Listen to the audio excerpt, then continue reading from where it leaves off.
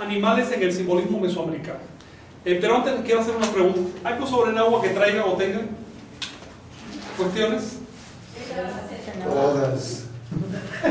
Bueno, como por continuidad de la clase antepasada, y nos algo sobre la sangre cuando asciende. La sangre.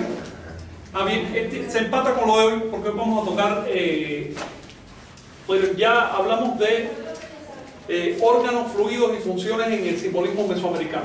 Es algo muy, muy importante del simbolismo. Y ahora los animales en sí. De alguna manera vamos a tener que ver con eso. Específicamente sobre el agua, una palabra que les resuene, una cosa así. A ver, ¿algún concepto? Eh, ¿Alguna duda? ¿Queda aclarar? A mí una vez me dijeron que no existía en sí la palabra, que eso es una palabra actual, el decir te amo. Que eso para ellos el amor no se decía, se demostraba. Y mi sopla, yo te amo.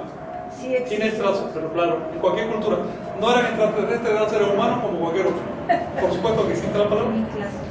Así es. sí. Y respecto a, lo- a los rollos, De- es un rollo moderno. Sí, de los rollos de tlazote, tlazoteo no es la misma raíz, Bien, entonces... vamos a hablar de tlazoteo, eso nos sirve de introducción.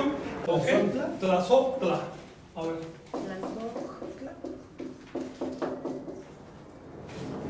Que tiene varios componentes, ¿lo ven? ¿Ven los componentes? Ajá. so- Tlazo quiere decir gracia. ah. Gracia, gratitud y gracia. Gracia no de gracioso, sino gracia de gracia espiritual. Entonces Tlazotla vale como amor. En su origen significaba la gracia. La gracia de alguien y el amor de alguien. ¿eh? Pero vale como amor, tal cual. Eh, este nombre, Tlazoteo, cuando lo compones, sigue significando amor y era el nombre que le daban a Centeot o Tlazopili, que quiere decir eh, príncipe amado o Dios amado, porque a Centeo le llamaban el amado, ya que era el maíz, entonces decían el amado. Mm. Así que, claro que existe la palabra.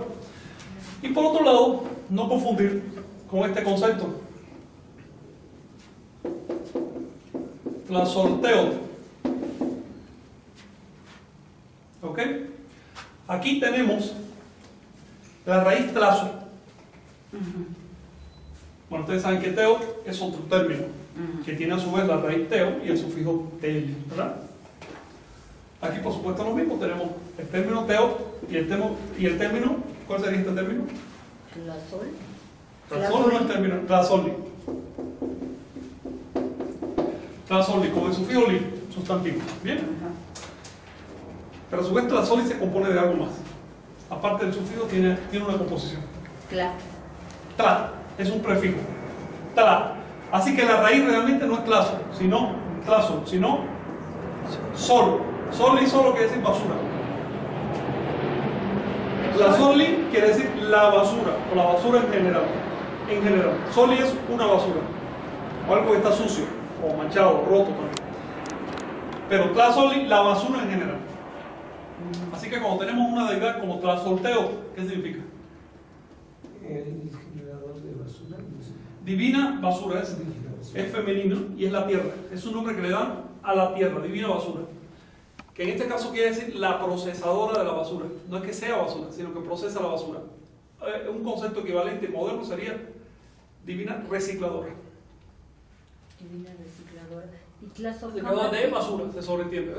Y tlazocamati, que también empiezan igual. Tla- tlazo- se puede decir de varias maneras.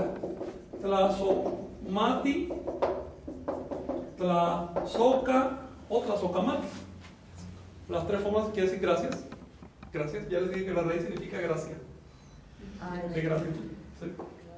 Entonces todo depende cómo se oiga, si, no lo- si alguien lo está hablando. No, no, no, no, no son palabras diferentes. Tlazomati, tlazoca o tlazocamati son diferentes de tlazotla. Tlazo es, La misma raíz, pero son palabras diferentes, se usan diferentes. tlazo es una sola, no es Tlazo tlazo. es una raíz. Una raíz. Es una sola, una sola raíz. Tlazo. sí. Tlazo, No, no son dos. En es fin, no existe la raíz O. gratitud o gracia. O digo, no tiene nada que ver con esto. Existe, pero es otra raíz. Y tlazo no tiene como tlazol, el li, el, la, la- Las raíces son raíces, no tienen sufijos No tiene ni prefijos. Una raíz no tiene ningún ele- eh, elemento fijo. Ni prefijo, ni sufijo, ni fijo, ni interfijo, ni nada de eso. O sea, sol no es, este, no puede decirse si Sol no existe solo como palabra. Tiene que decir soli, basura. Tlasoli, la basura en general. Entonces, el náhuatl distingue entre un sustantivo aplicado a algo específico como soli, una basura, y su aplicación a algo genérico. En español no tenemos, generalmente no tenemos palabras para esa distinción, pero en náhuatl sí. Así que cuando dices tlasoli y después teos, y se queda en tlasol teos, está diciendo la deidad que tiene que ver con el reciclado general de las cosas. ¿Sí? La palabra basura no era peyorativa para los mesoamericanos, simplemente significa desperdicio y reciclaje. Y para nosotros como alumnos, ¿cómo distinguimos cuál palabra es raíz y cuál palabra sí tiene eh, la desinencia? Tienes que aprenderte lo- los sufijos, afijos y demás. Tienes que aprenderte esas, esos elementos, esas partículas modificadoras, ¿cómo se llama? Si te las aprendes, todo lo que queda, ya lo que ya no es una partícula, es una raíz. Raíces hay un montón, pero partículas no hay tantas. ¿No hay las aprendes diccionario fácil. de raíces? No, ¿verdad? Sí, casi todos los diccionarios buenos demarcan la raíz, ya sea en negritas o poniendo un guion o algo. Ah, sí. Eh, de hecho, unos dos que te di por electrónicos demarcan bien la raíz. Ahora, lo que hay que aprender son las partículas y lo que queda de raíz.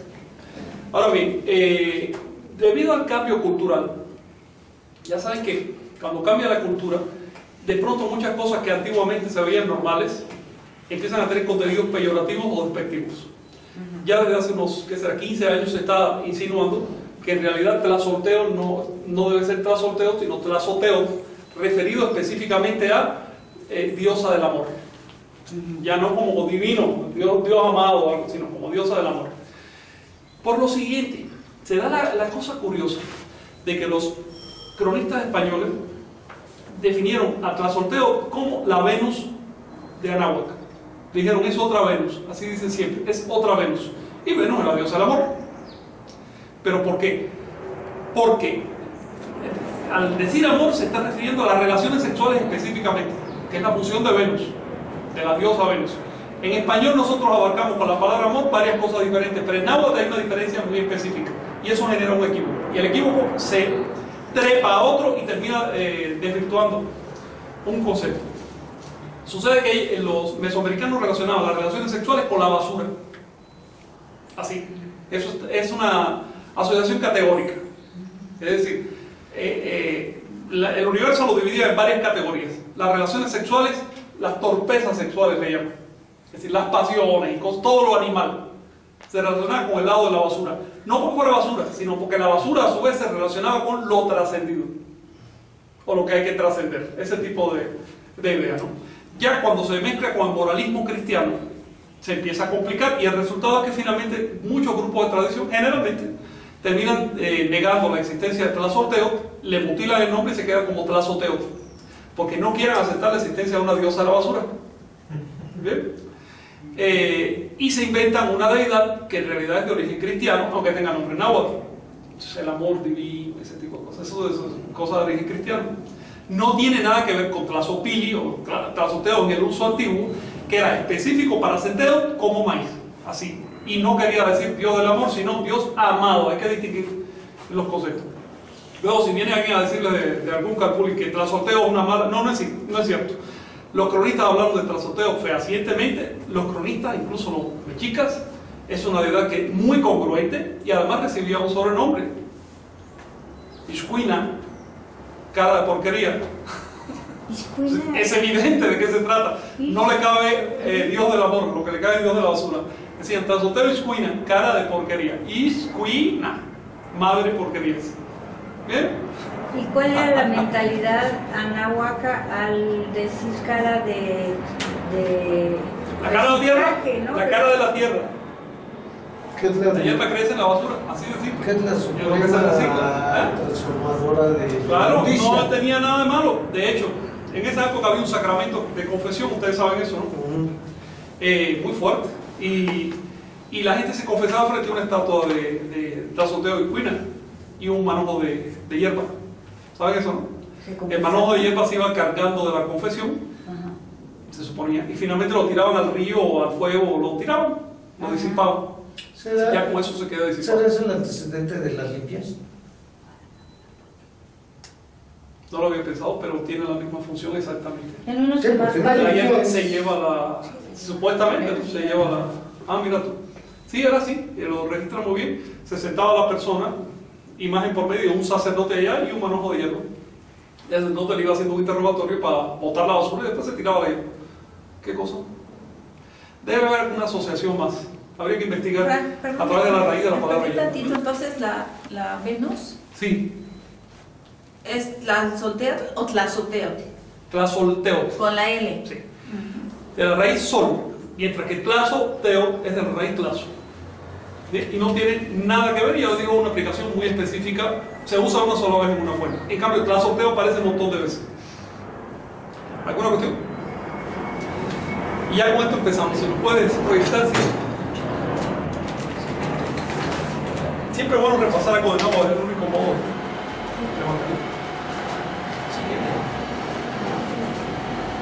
Porque luego hay palabras que como estas ya las tienes entre comillas aprendidas y yo eso no, estoy equivocada, la estoy manejando Digo, si te agarran con la guardia baja, te pueden hasta quitar un conocimiento real y poner otro, porque la cultura está cambiando la carrera. Y el cristianismo le ha metido a las tradiciones de Anáhuac moralismos y cosas bastante, ¿ves? Moralismos cristianos que no vienen al caso, que no vienen al caso. Digo, si uno quiere investigar lo que pasó, Hay, el moralismo no viene al caso. hay unos temazcales donde saliendo eh, tiras y quemas tu... Sí, son tradiciones. Ahora bien, la sangre. La sangre representaba, por supuesto, la vitalidad, la vida, la energía, la vida en general. Eh, le llamaban Teoatl, el agua sagrada, el agua divina. Pertenece al- a, a la fenomenología de- de- del agua, pero también involucra eh, el tonal, es decir, nahual y tonal, porque la sangre por sí representa el sol, es la energía, es el sol, es la parte tonálica del mundo, Sí, es por eso del color del rumbo. Pero ¿a qué, ¿a qué te refieres en particular? El rumbo este es rojo, Y ahora que tiene cuatro rumbos Sí. donde sale la luz, sí, aparece de color rojo. sí, sí, sí, pero ¿cuál es la pregunta? No si era la asociación más. Sí, lo que pasa es que la sangre no está asociada necesariamente con el rumbo del este. Puede aparecer con cualquier rumbo. Es un, símbolo diferente, que obviamente de manera natural se asocia con el este, ¿no? pero, pero puede aparecer aislada del, del simbolismo de los rumbos. Es como decir, digamos, ah, como decir la saliva. Te pongo un ejemplo. En el mito del Popol Vuh, ustedes saben que hay una chica que fue a ver una, bueno, matan al héroe, al avatar, le cortan la cabeza y de esa cabeza nace un- una planta, ¿no? Y salen unas jícaras, unas, ¿cómo se llama? Muy bonitas. Y una chica llamada Ishkish, que quiere decir sangre, ese no. Eh, se entera del milagro y va a ver la planta y una de las, eh, ¿cómo le llaman las? Las Guajes. Eh, guajes. Uno de los guajes le habla y le dice, le dice, eh, extiende tu mano. Entonces escupe. Mm. El escupir la preñó. La saliva también es un elemento, además un símbolo antiquísimo, no solo mesoamericano, de transmisión de la energía, en este caso. Y la preñó y ella dio origen a la nueva generación que fueron los gemelos, Tonal y Nahual, digamos así.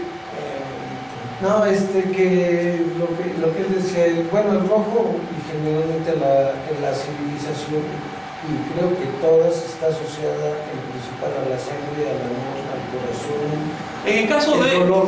mi- mira, por ejemplo, te lees el Pentateuco y ahí la palabra sangre se asocia, bueno, con la guerra, por supuesto, pero Guerra. también con la alimentación de la deidad. Por ejemplo, Jehová en el Antiguo Testamento dice, eh, debes sacrificarme tantas vacas al día, tantos corderos, tantas palomas, tanto- una cantidad de sangre. Y sigue diciendo, porque necesito sangre, porque bebo sangre.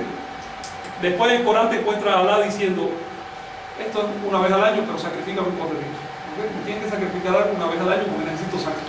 En otras palabras, la sangre se convierte en emblema de la transmisión de energía de aquí para allá. Y eso allá se la está chupando. Cuando aparece un chorro de sangre que sube, por ejemplo, en, un- la iconografía mesoamericana, significa que eso que la recibe se está alimentando. Por lo general, eso es un astro.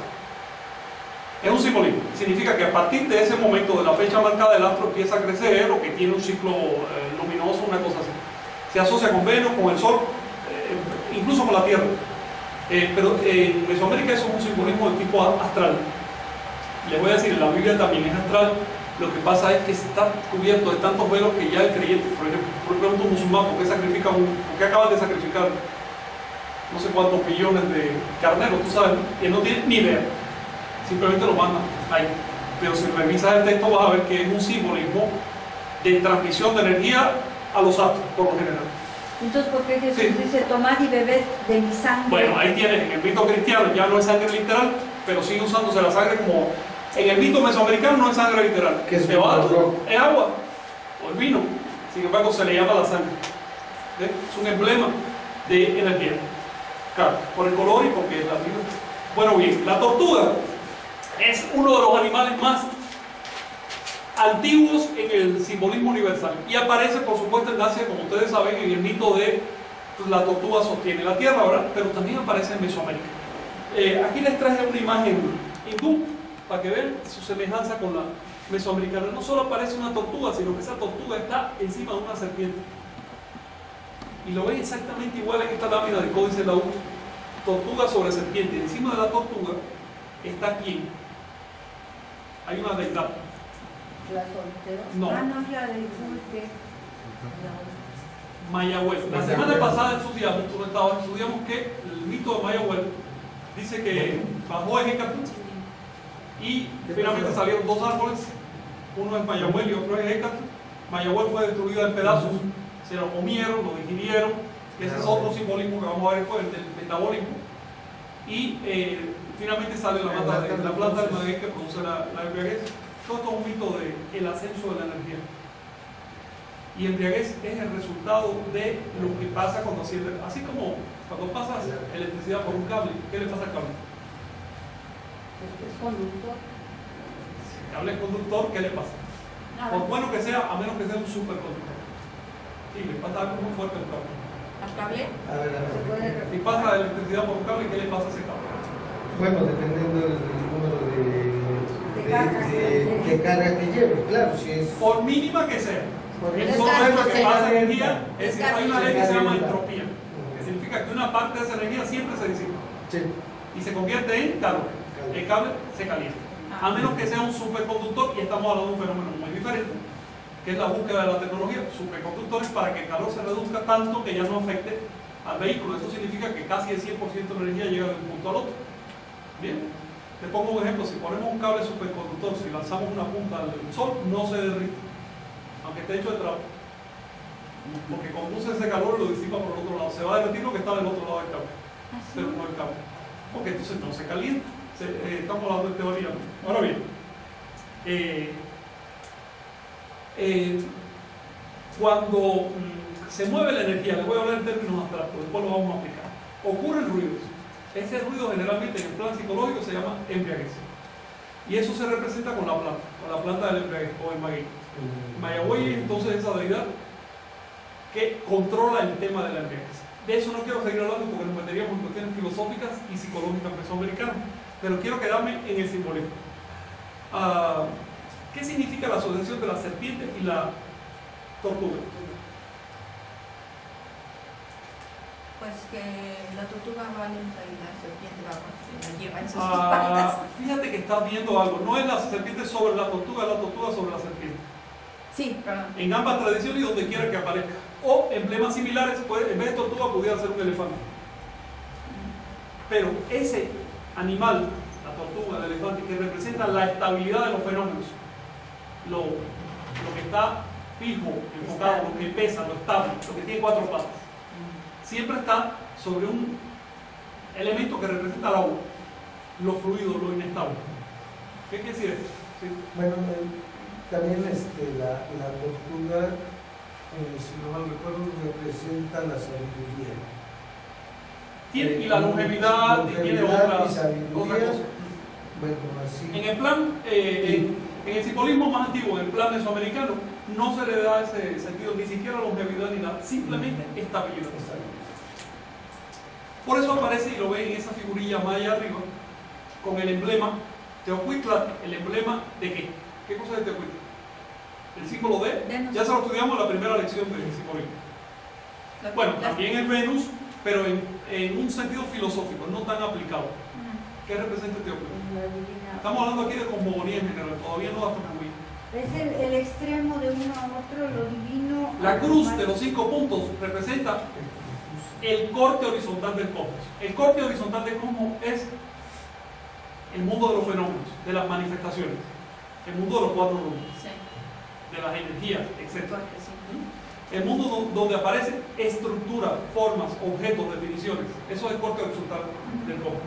Ese corte se llama Naoli, el Naoli, que es lo que está en el centro de la Tierra del Sol. El movimiento 4. Cuando veas cuatro puntos, cuatro pies, cuatro patas, cuatro algo, cuatro cargadores de los rumbos, etc., eso significa estructuras. Por lo tanto, definiciones. La visión mesoamericana es esta. Ok, existe un mundo de estructuras, de defini- definiciones, objetos, individuos, de cosas separadas. Pero por debajo de todo eso, hay un mundo de energía que lo conecta todo. Y eso se representa con la serpiente.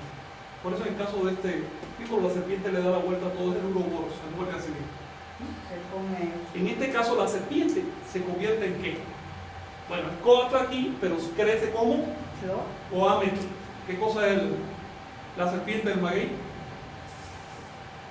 Bueno, la caña del maguey, la caña que florece, se llama serpiente. Ah, Ese, crece como serpiente. Un, un mesoamericano ve, ah, nosotros vemos tres elementos, cuatro quizás, serpiente, tortuga, la, eh, la deidad, la personificación de ese concepto y la planta. Ellos no, ellos hubieran visto lo mismo, la serpiente y la planta, es la misma cosa. Es esto que ven acá. Ahora, ah, la planta significa la el crecimiento, la expresión y la diversificación de la serpiente. La serpiente significa la fluidez. Por eso se escoge como planta el maguey que representa la embriaguez. ¿Qué quiere decir la embriaguez? Porque fluye, porque no está fijo, porque no tiene. Esa es la característica de la embriaguez. No le da fijeza, no le da significados. Para darle significado tienes que enfocar tu atención. Es como cuando tienes la vista así dispersa como un animal herbívoro no ves un mundo tridimensional, pero cuando lo enfocas, entonces si ves objetos, puedes medir distancia, empiezas a conseguir un mundo de objetos. Tengan eso en cuenta porque es literal un animal herbívoro, los que tienen los ojos a los lados, no ven un mundo de objetos. Los objetos los ven los carnívoros. Por eso nosotros vemos objetos. El mundo de objetos en que vivimos no es un producto natural, es un producto de grupo biológico. Es muy exacerbado entre los simios por otras razones también biológicas, porque al vivir en los árboles necesitamos desarrollar una buena percepción del espacio y de los colores y demás, porque son animales diurnos, etc. Es decir, ah, con esto les estoy diciendo que realmente lo que vemos como objetos es simplemente una función biológica que se puede abstraer. Cuando la abstraemos, ¿a dónde llegamos? Al corte vertical del cosmos, que no es cuadrangular, es triangular, y se representa como una serpiente que se muerde a sí misma, porque es completamente fluido. Tienen una- un ejemplo de cómo se usaba esto en la práctica. Vamos a, por ejemplo, vamos con la mente al templo de Hécate en la plaza del templo Mayor. Observen que era ese templo tenía una, se parecía mucho, solo que era mucho más grande, al que hay ahora en el metro Pino Suárez, ¿verdad? Y ese templo tiene una estructura muy específica. A ver quién se, quién se acuerda. Un cuadro y luego encima una estructura. Primero el cuadro, encima el círculo. ¿El cuadro qué representa? Estabilidad. Sería Sí, como es la tierra, es el elemento tierra. ¿Y el círculo? Eh, Es la evolución. Es Hécate, es Eh, específicamente el aire. Sí, porque el aire se supone que anda por todos lados. Así, el cuadro es la tierra, como símbolo. Encima está la yacata, que es el templo circular, que se sabe, toda la seguridad, que estaba dedicado a él, al aire. Y encima hay un techo cónico que representa, ¿qué elemento? Techo cónico como pirámide. Ya no existe, hombre, existía. Es decir, la estructura básica era cuadrado, circular, cónico. Era un ícono. Se podía hacer hasta de manera esquemática, no, no necesariamente utilitaria. El cosmos, la conciencia o qué? ¿Qué elemento? Ah, ¿qué? Fuego. El fuego. El fuego, ¿no? Triángulo representa el fuego. Tenemos la tierra, el aire y el fuego. Falta un elemento. agua. Agua. ¿Dónde estaba el agua en el caso del templo de Hécate en, en el Zócalo? ¿Dónde estaba el agua? ¿Qué representaba el agua? ¿Cuál era el agua? ¿Era el sostenimiento de la tierra? Concretamente, había un elemento concreto, una construcción ahí que representaba el agua. ¿Qué es?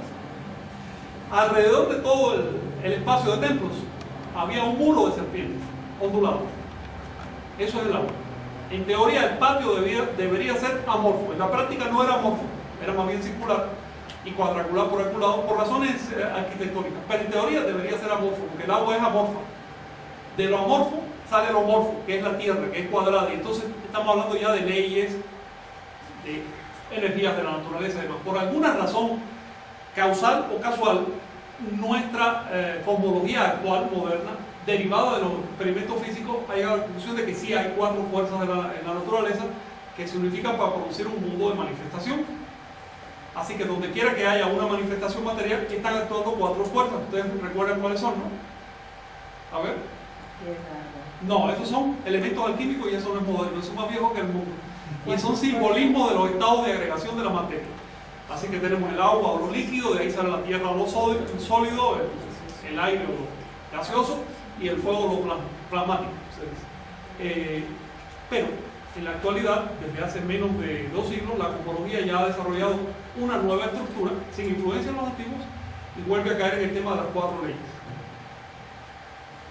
A ver, Faraday fue el que descubrió la primera eh, hace casi dos siglos. A ver, La gravedad, gravitación es una de ellas. Fuerza, más bien, no leyes, fuerza. magnetismo, Electromagnetismo, Sinergia. no, eso es un concepto filosófico. Fuerza, fuerza concreta, medible, con números. Gravitación, electromagnetismo, ¿Cómo se llama esta? No lo voy a decir, creo que es la sí. gravedad. Creo que Gravedad. Gravitación, ya lo. Todas las fuerzas tienen una característica. A ver, vamos a estudiar el gravitación y el electromagnetismo. ¿Cuál es la característica común? Por eso la física supone que se puede reducir a una fórmula, ¿eh? pero todavía no se ha hallado y es posible que no se halle nunca. Porque que se pueda reducir a una fórmula no significa que pueda realmente tener esa fórmula en tu poder. Hay una distancia entre esos dos conceptos. Pero bueno, a ver. Las energías que Radiación. tienen nivel átomo. Gravitación, electromagnetismo mantienen unidas las cosas, tienden a unir las cosas. Aunque no las mantengan, pero tienden a unir. Tienden a hacer que las cosas pasen de pluralidad a unidad. ¿Y eso cómo se llama? Las leyes del universo, las leyes que mantienen aglutinado y universo. Si no electromagnetismo. existiera, no existiera el universo, sería una sopa de radiación sin, sin sometimiento a ninguna ley. Sopa de. sí, se sabe Dios qué cosa. Lo que llaman unificación de campos. se, se intenta, a mi juicio, va a haber problemas con eso. Hay una ley, una fuerza que no se somete, que es la gravitación. ¿sabes? Pero es esto, ya sabes que un, no sé, una curva parabólica se acerca, se acerca a la coordenada, ¿cuál es esta? Eh, Y, ¿no? Mm. Se acerca pero no la toca. Se acerca infinitamente, pero no la toca. Así que la toca en el infinito. Eso puede darnos la sensación, y filosóficamente sí podemos decirlo, que la toca en el infinito.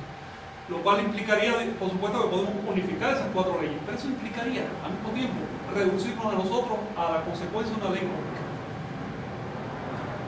¿Y dónde queda el observador? ¿Dónde queda que testifica? Pero bien, ya no queremos meter ahí. Eh, las dos fuerzas son. ¿No te acuerdas? Interacción débil, interacción fuerte. Importante tenerlo en cuenta. No solo existe gravitación y electromagnetismo, también hay una fuerza que une al electrón con el núcleo, con el protón. ¿Saben eso?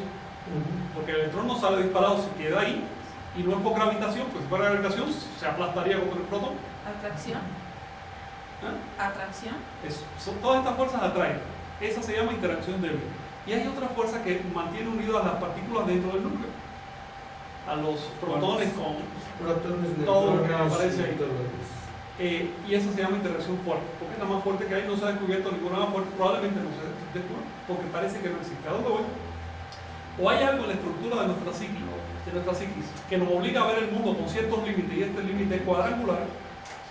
O bien objetivamente la naturaleza tiene esos límites y en ese caso los antiguos también lo descubrieron. Porque realmente se cae en, la- en las mismas ideas generales. Aunque los antiguos no nos dejaron fórmulas para probar lo que decían. Solo ejercicio de conciencia. A nivel de conciencia te lo puedes demostrar a ti mismo, no a los demás.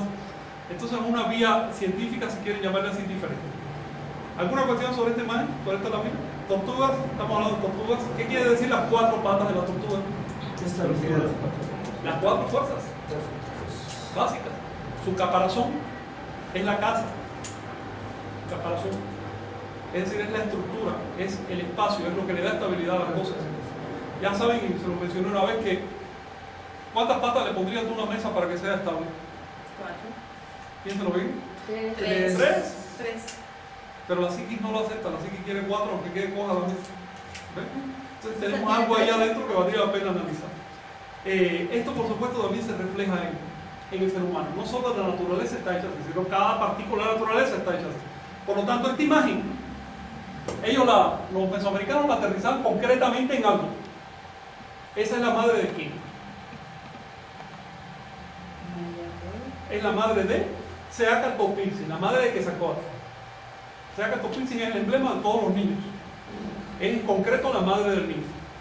Eh, porque en el niño que nace se reproduce, se refleja la estructura del universo. También hay cuatro cargadores. No solo los cargadores están en el año, están en la persona. ¿Cuáles son los cargadores en la persona? Bueno, ustedes recuerdan alguna... Pedro, ¿cómo te va? Mira, no hubiera venido bien hace un momento, estaba hablando de electromagnetismo y, no, y ni yo me entendí aquí. Bueno, el caso es, eh, también el ser humano tiene cuatro cargadores. ¿Recuerdan aquella lámina en que se ve un difunto que cae y se degrega? ¿Se acuerdan? Se queda una serpiente central y cuatro que salen de ella. ¿Se acuerdan de eso? Bueno, estos cuatro cargadores son, eran llamados Conacayot, Iyot, Mati y Teyolía. Hay un libro muy bueno dedicado a eso de López Osti, que es el segundo tomo de, bueno, de Cuerpo Humano e Ideología, son dos tomos. ¿Es lo que le llamaban las cuatro ermitas? No. Sí, si quieren cuatro almas, son cuatro cargadores. Tonacayot, cuerpo físico asociado con el rumbo sur. Iyotl, ah, cargador energético como el Iyotl, quiere decir aliento, o la sangre también, la vida, asociado con el este. Mati, asociado con el norte, con el. Mictlán. Perdón, me llama Sí. la atención que la víbora está adentro de la tortuga. Porque está el caparazón de la Solo hay una cosa, es una hibridación. ¿Eh? Es una hibridación. Está, ya, vamos a hablar de eso un poquito más. Mati es la mente asociada con el norte. Y Teyolía, ¿qué quiere decir? Corazón. No, Teyolía. Te, aquello que. Y Yolía, Yol, La raíz Yol. No, Yoli es vida, pero la raíz en sí significa movimiento. Es la raíz de Oli. Recuerden que Isaías es demarcativa, no es parte de la raíz. Así que Teyolía quiere decir emoción, lo que mueve, literalmente. Y esos cuatro componentes, pues, están presentes en el niño que nace. Y lo va a encontrar en cualquier otra cosa, en un templo, hasta la forma de componer un poder, lo ven en esa imagen de manera extrema. En cualquier parte de la composición mesoamericana va- van a ver esa división porque es básica, es elemental. El hecho de que se unan en ambas imágenes, la serpiente y, la tortuga, implica lo siguiente. Nosotros podemos abstraer estos dos fenómenos. La fluidez de la percepción, se lo voy a decir de una vez, y la fijación de la percepción. Pero en la práctica, eso no es posible. El solo acto de intentarlo fija la percepción. Así. Solo puedes encontrar significados en la fijeza de la percepción. Por lo tanto, este simbolismo es la descripción de una abstracción, no de un fenómeno concreto. El único modo de darle fluidez a la percepción, y eso lo sabe cualquier ser vivo, lo sabemos nosotros, y por eso podemos dormir en la noche, es callando la mente. No tratando de explicarse el mundo. Y seguimos. Aquí tiene la tortuga en otras funciones. La tortuga de los mexicas está relacionada con Macuilxochitl, que es el nombre que le daban a Quetzalcóatl en su aspecto de retorno, o a las deidades en su aspecto de retorno, o incluso al calendario, al aspecto de retorno de una misma fecha. Eso es un Macuilxochitl. 5 representa eso, y Xochitl, es el, el símbolo, sí, eh, un Macuilxochitl. Y ahora que lo pienso, fíjate, no me había dado cuenta, Toño, Macuilxochitl también significa cinco órdenes vigesimales. Mira por dónde va. ¿Saben a qué, a qué me refiero? Cinco órdenes vigesimales, ¿qué cosa es? ¿Y qué es eso en la cultura? Es un fenómeno muy concreto de la cultura. Eso tiene nombre. Actualmente le llamamos cuenta lata o cuenta maya, si quieren. La cuenta maya, ¿qué cosa? Son cinco órdenes. Es un- una institución, es algo icónico de la cultura. Cinco órdenes. En otro momento vamos a hablar de eso. Ven aquí esta imagen maya. Entonces, otra vez la tortuga, pero la tortuga como tierra. Y la tierra se está abriendo y de ella brota qué? Ese es el maíz. Y estas son las ramas del maíz. Y aquí tienes a los gemelos. Esta es la cruz maya. Pero la cruz se reduce a una tortuga. Por esa característica de la tortuga de organizar el mundo. Hay quien dice que también las conchas de la tortuga tienen que ver con el calendario y todo eso. La verdad es que es bastante subjetivo el hecho de que tenga 13 conchas principales y esas cosas. En la lápida de Palenque lo ven, por ejemplo, como un maíz que sale y de sus dos tallos brotan estos dos, que son Punapú y Balanqué. ¿Y quiénes son Punapú y Balanqué? Punapú, ¿qué quiere decir? Un apú, flecha, o cerbatana, o cualquier cosa que se clava, es la fijeza. E isbalanque, ish quiere decir femenino, es un contraparte. Balam, Es un jaguar con los el ocelote. Balanque significa con característica o con atributo ocelote. Ella tiene atri- atributo ocelote y el atributo del el ocelote es el emblema de, de la noche, de las estrellas, de lo que no, que está, lo que no está fijo, lo que fluye, lo que se esconde, lo que acecha. A diferencia de un ajú que es el sol. Es uno cerbatana, uno flechador. Es el sol. Y estamos hablando del mismo fenómeno que vieron en la lámina anterior, pero de otra manera. Si tienen en cuenta este simbolismo, van a entender el Popol Vuh, porque el Popol Vuh es todo un juego, todo un regodeo en torno a esta eh, polaridad. Pero Junapú debería, entonces, el que debería tener los puntos de ocelote debería ser el otro y es justo el sol. A mí ¿no? siempre me, me sorprende eso. Si están como que invertidos eh, las manchas de ocelote para una Pero Ibabeque también tiene un como, como un parche de cuero en su ropa cuando aparece, con, que es una piel de ocelote también. Pero los dos finalmente eh, son el ocelote. La, fijeza solo es posible en la fluidez, no al revés. La fluidez eh, es incondicional. Es como decir, lo- las chispas de luz del cosmos, las estrellas, son posibles en la oscuridad, pero no al revés. Viene del polvo, viene de la oscuridad. ¿Qué vas a hacer? Pues para qué Y- y- Ella tiene atributos de ocelote. Más o menos, si quieren darle una traducción más literal. Pero la sacerdotisa o la ocelota. la- Pero en el cuento eso no, niños los dos, ¿no? Son dos. Mira, eh, ya que lo mencionan, les quiero decir algo que vamos a ver una y otra vez. Sucede que las tradiciones religiosas de la tierra reflejan la forma de la sociedad. ¿Bien? Si tú tienes una sociedad patriarcal, medio primitiva, como lo que había en el Israel primitivo, y ya sabes que eran tribus en guerra y demás, ellos no tenían tiempo para una sociedad muy refinada, estaban en guerra. Y tenían la estructura familiar necesaria para ese caso, sobrevivían como varones. Entonces era necesaria una estructura poligámica, patriarcal, familia ampliada, para que todos los niños vivieran juntos ahí, se llamaba hermanos, no importa de quién fuera. Así ese tipo de... para garantizar la supervivencia. Eso generó un panteón. ¿Y cómo es el panteón de esa primera parte de la vida? ¿Cómo es ese panteón? Y debajo la corte y debajo pues ya los hijos. Y, de hecho se le llama padre. Por eso. Y lo pintan hasta como barbón.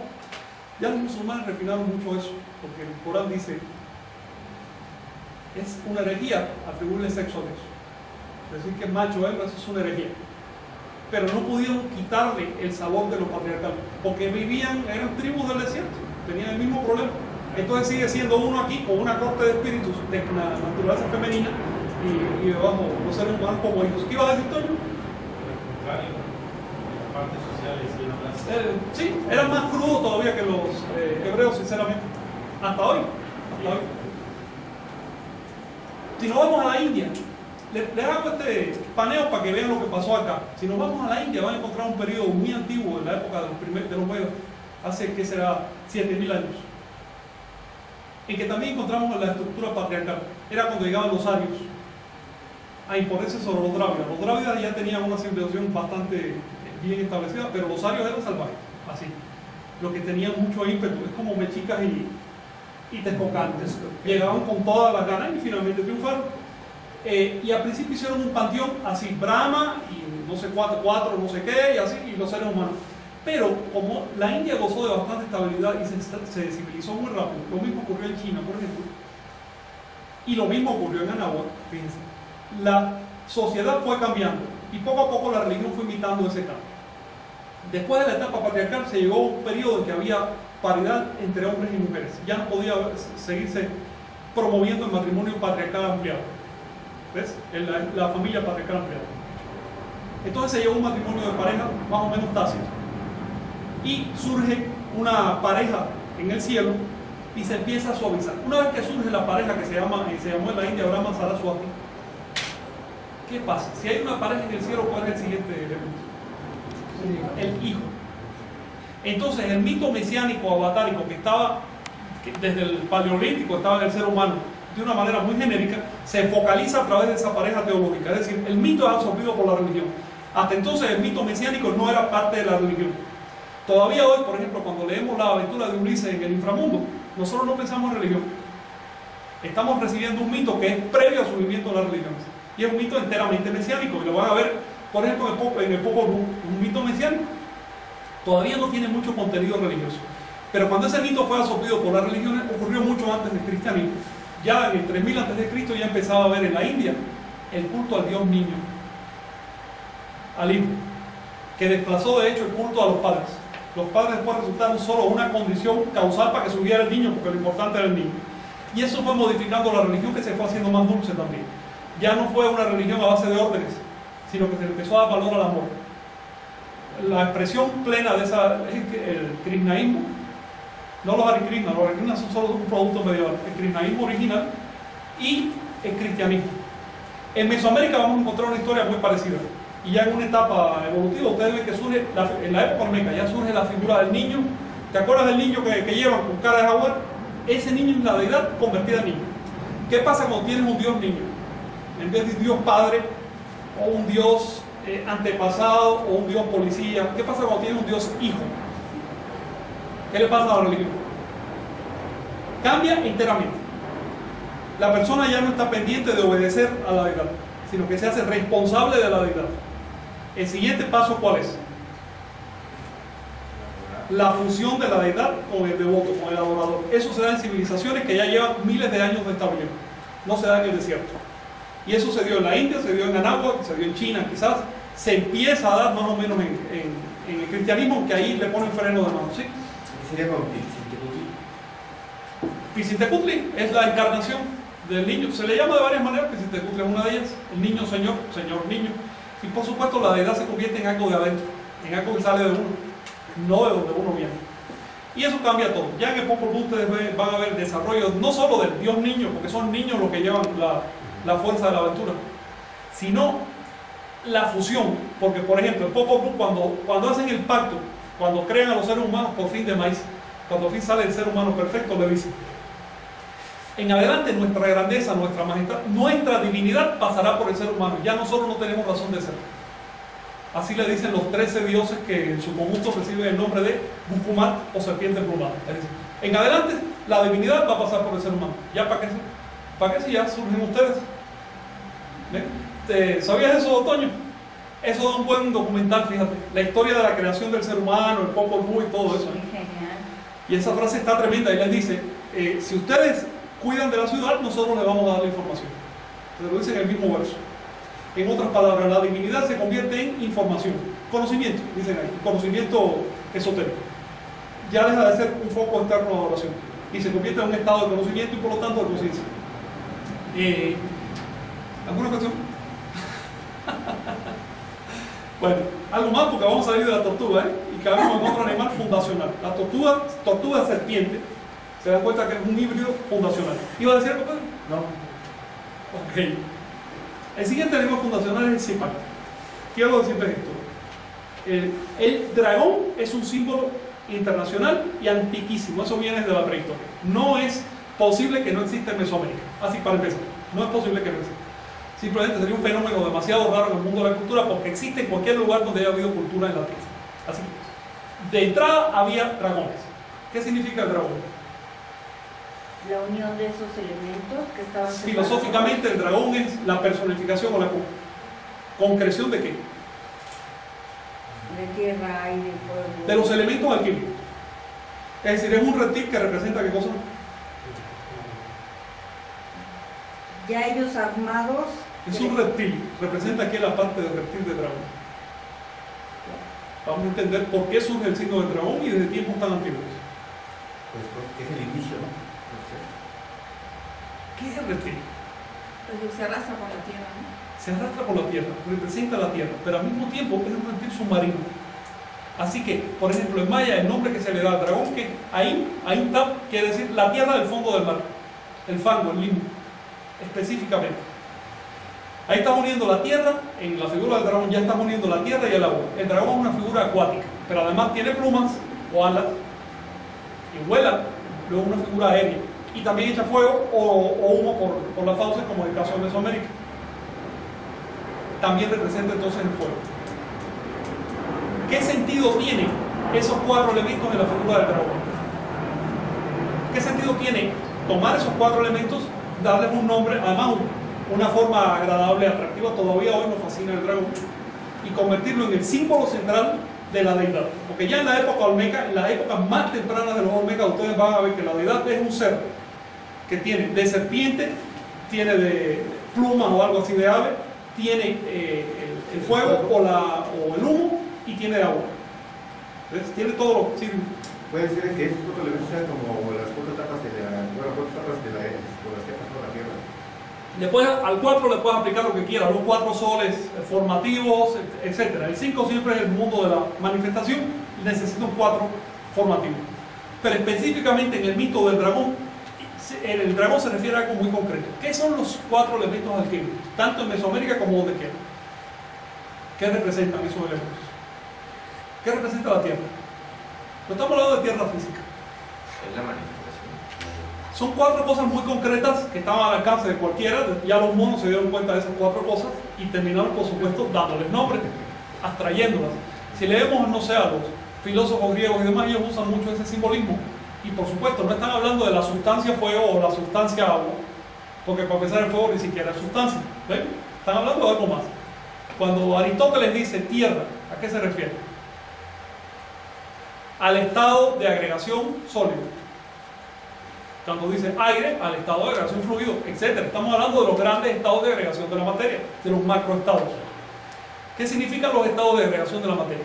Cualquier, sea mito o sea filósofo antiguo o sea, no sé, científico hasta más o menos hace cuatro siglos, que lean, van a ver que usan esos símbolos para representar estados de agregación. De una manera muy técnica, en esa época no había confusión. La confusión es hoy. Hoy te lees cualquier libro de química escrito por cualquier improvisado que te dice los antiguos creían supersticiosamente que solo había cuatro elementos. Espérate, léete a los antiguos y a ver que ellos no hablan de elementos en el sentido moderno. Hablan de los estratos de la materia. Si nosotros abarcamos en un mismo símbolo, en un animal, los cuatro estratos perceptibles a nosotros en la materia, ¿qué representa ese animal?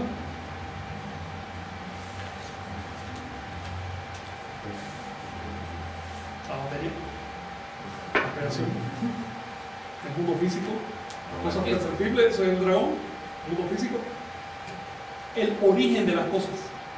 Es decir, la base de las cosas. La materia la materia prima de las cosas. Ya a partir del dragón se forma todo. No debe extrañarnos que en el caso de Mesoamérica, pero también en los pueblos del Oriente Medio, el dragón sea el primer signo de su ciclo calendárico. ¿Sí? Una pregunta, Frank, el dragón, tal como la este, escribimos y la pronunciamos, ¿qué origen tiene esa palabra? Draco, una palabra griega, que en chino se dice lun, dragón, es decir, cualquier lugar vas a encontrar nombres específicos, los vikingos le habrán dicho a su manera, acá le decían, los nahuas le decían zipactri. Lo notable de la palabra zipactri, ¿cuál es la raíz de esa palabra?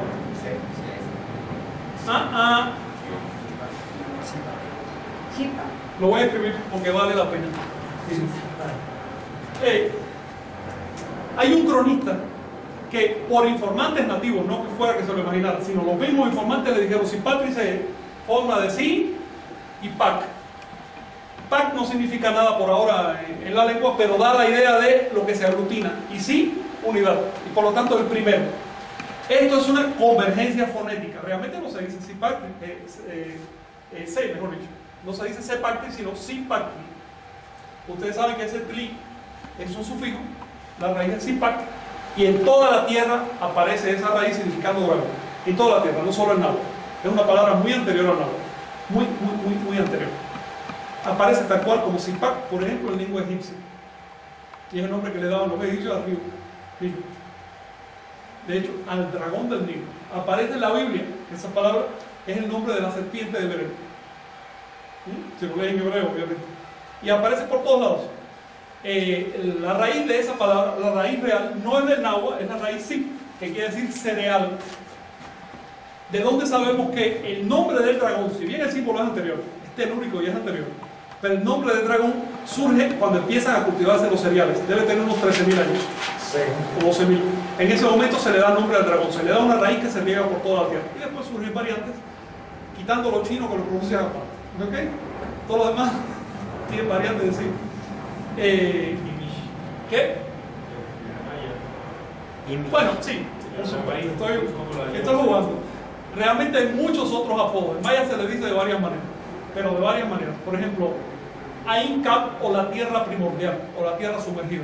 ¿Te das cuenta que es un apodo? Se le dice Imish, que hoy significa seno. Seno o entraña. Pero hace tan solo cinco siglos, cuando llegaron los españoles, significaba iguana.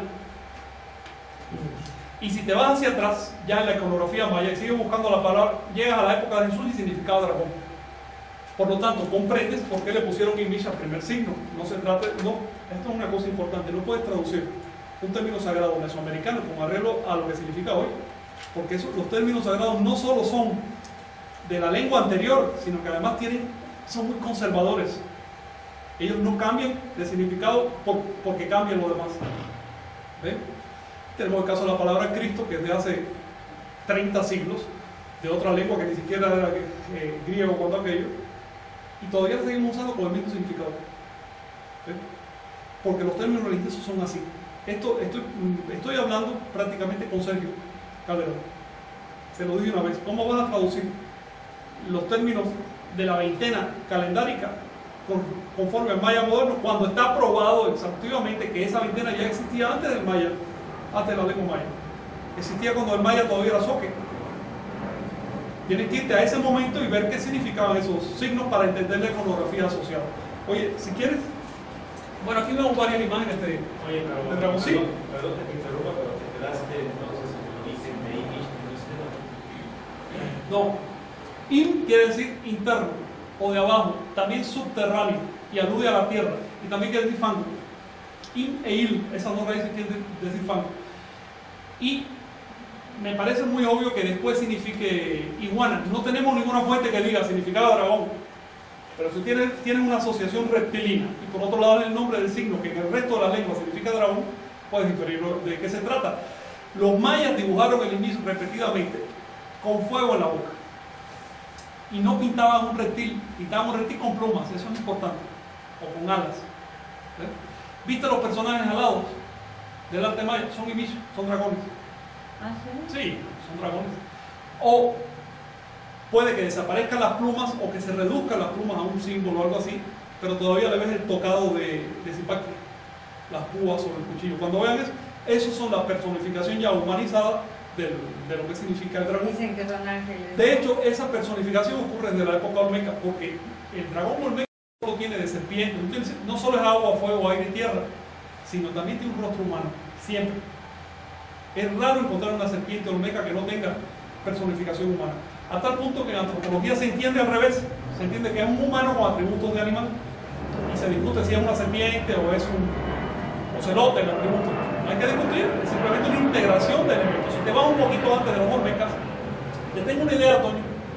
Mira, estaba escribiendo el otro día un, un articulito y necesité darle nombre al pueblo preolmeca.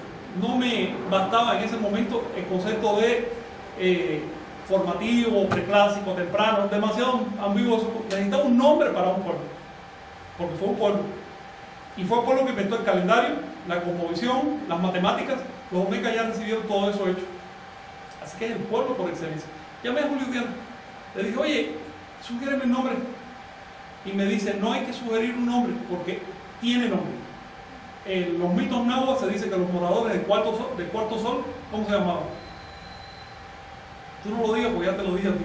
¿Cómo se llamaban? A ver, ¿se acuerdan? Los moradores del cuarto sol. ¿Lo dicen? Anale Cotitlán. En esa época vivía el pueblo de los Quinames.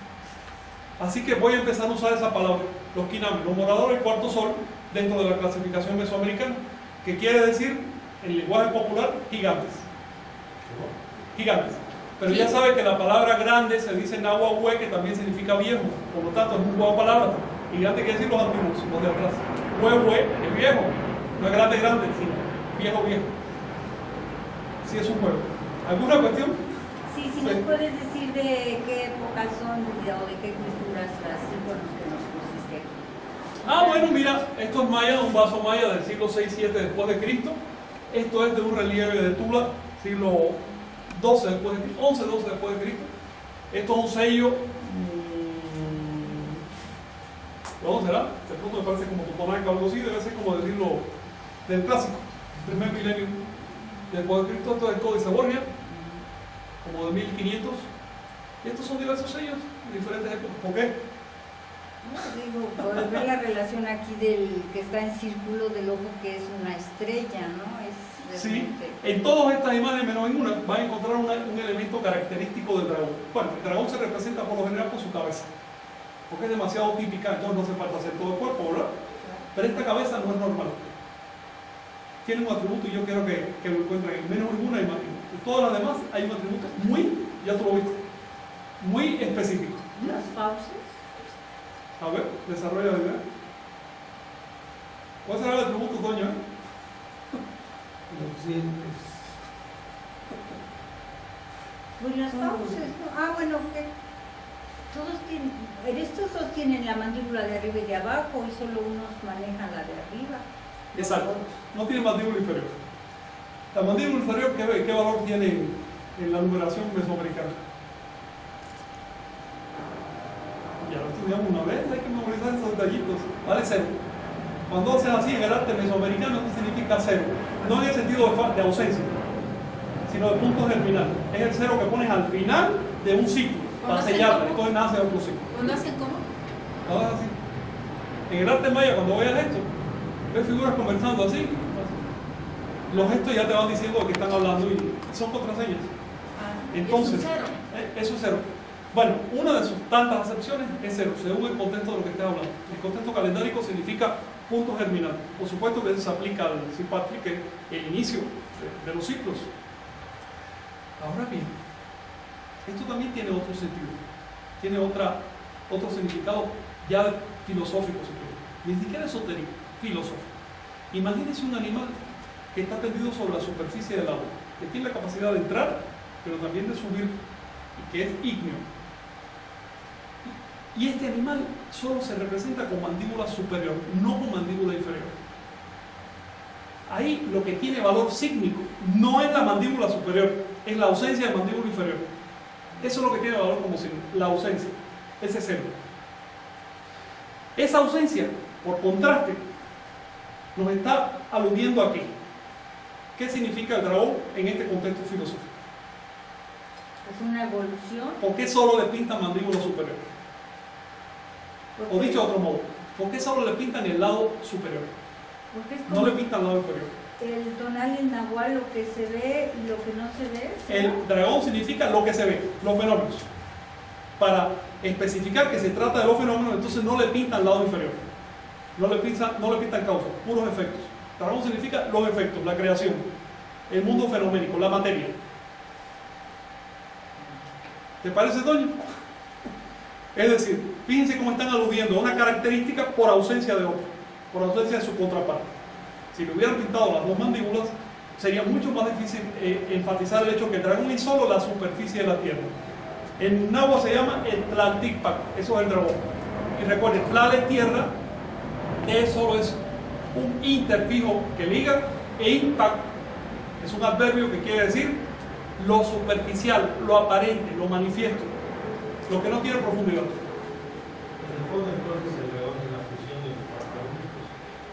Los cuatro estados de agregación representan lo que podemos percibir. Así.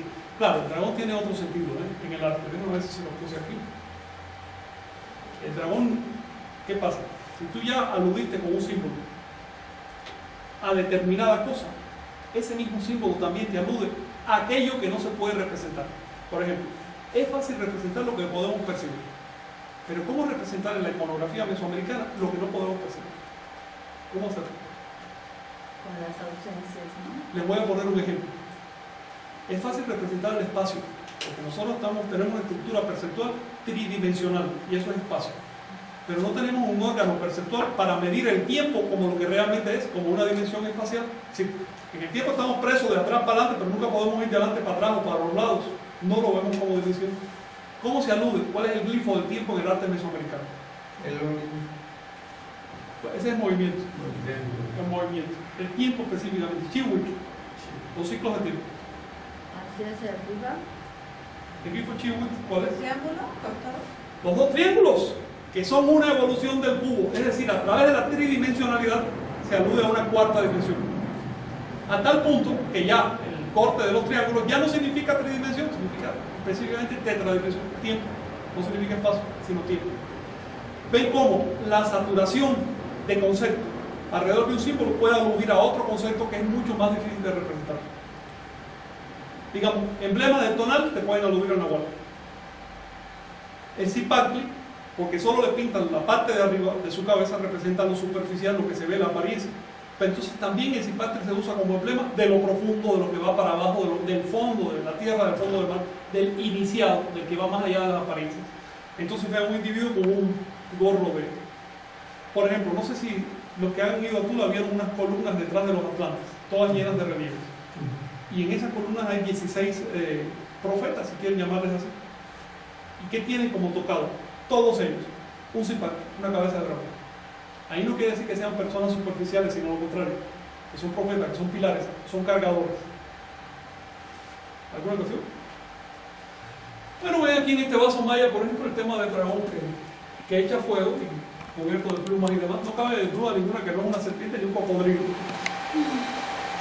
Pero eso no quita que en ciertos momentos sea representado como cocodrilo o asociado con el cocodrilo, pero también con la ballena, con el pez sierra, el pez ese que tiene una sierra, eh, que se llama, por cierto, Azipaquitli, una palabra bastante parecida. Así, paquití. El cocodrilo propiamente se llama aquaespal. El cocodrilo no se llama zipac. Así que, de plano, eliminen la idea del cocodrilo con el zipac. Pero eso no implica que no se pueda asociar un cocodrilo. ¿Ven? Es una asociación secundaria. Como a otros muchos animales, el dragón termina convirtiéndose en un ocelote, ocelote dragón. Ahí está el Muchísimos más animales. De pronto, de pronto empieza a tener las manchas del ocelote y otros atributos de la demás. Pero aquí, sin embargo, está como cocodrilo. Y fíjense cómo el artista acentúa el hecho de que es la parte de arriba de las cosas. Esta es la tierra. Ellos le daban a la tierra esta forma, a la tierra emergida del agua, a la materia emergida de- del espacio, del mar del espacio. Le dan la forma de un cuadrúpedo. Es otra alegoría de las cuatro patas, de las cuatro fuerzas, que en un tronco. Y no por gusto este tronco está cubierto de qué? Escamas. que representan semillas, gérmenes, es lo que crece. Por lo tanto, el dragón también va a significar la naturaleza y en particular la vegetación.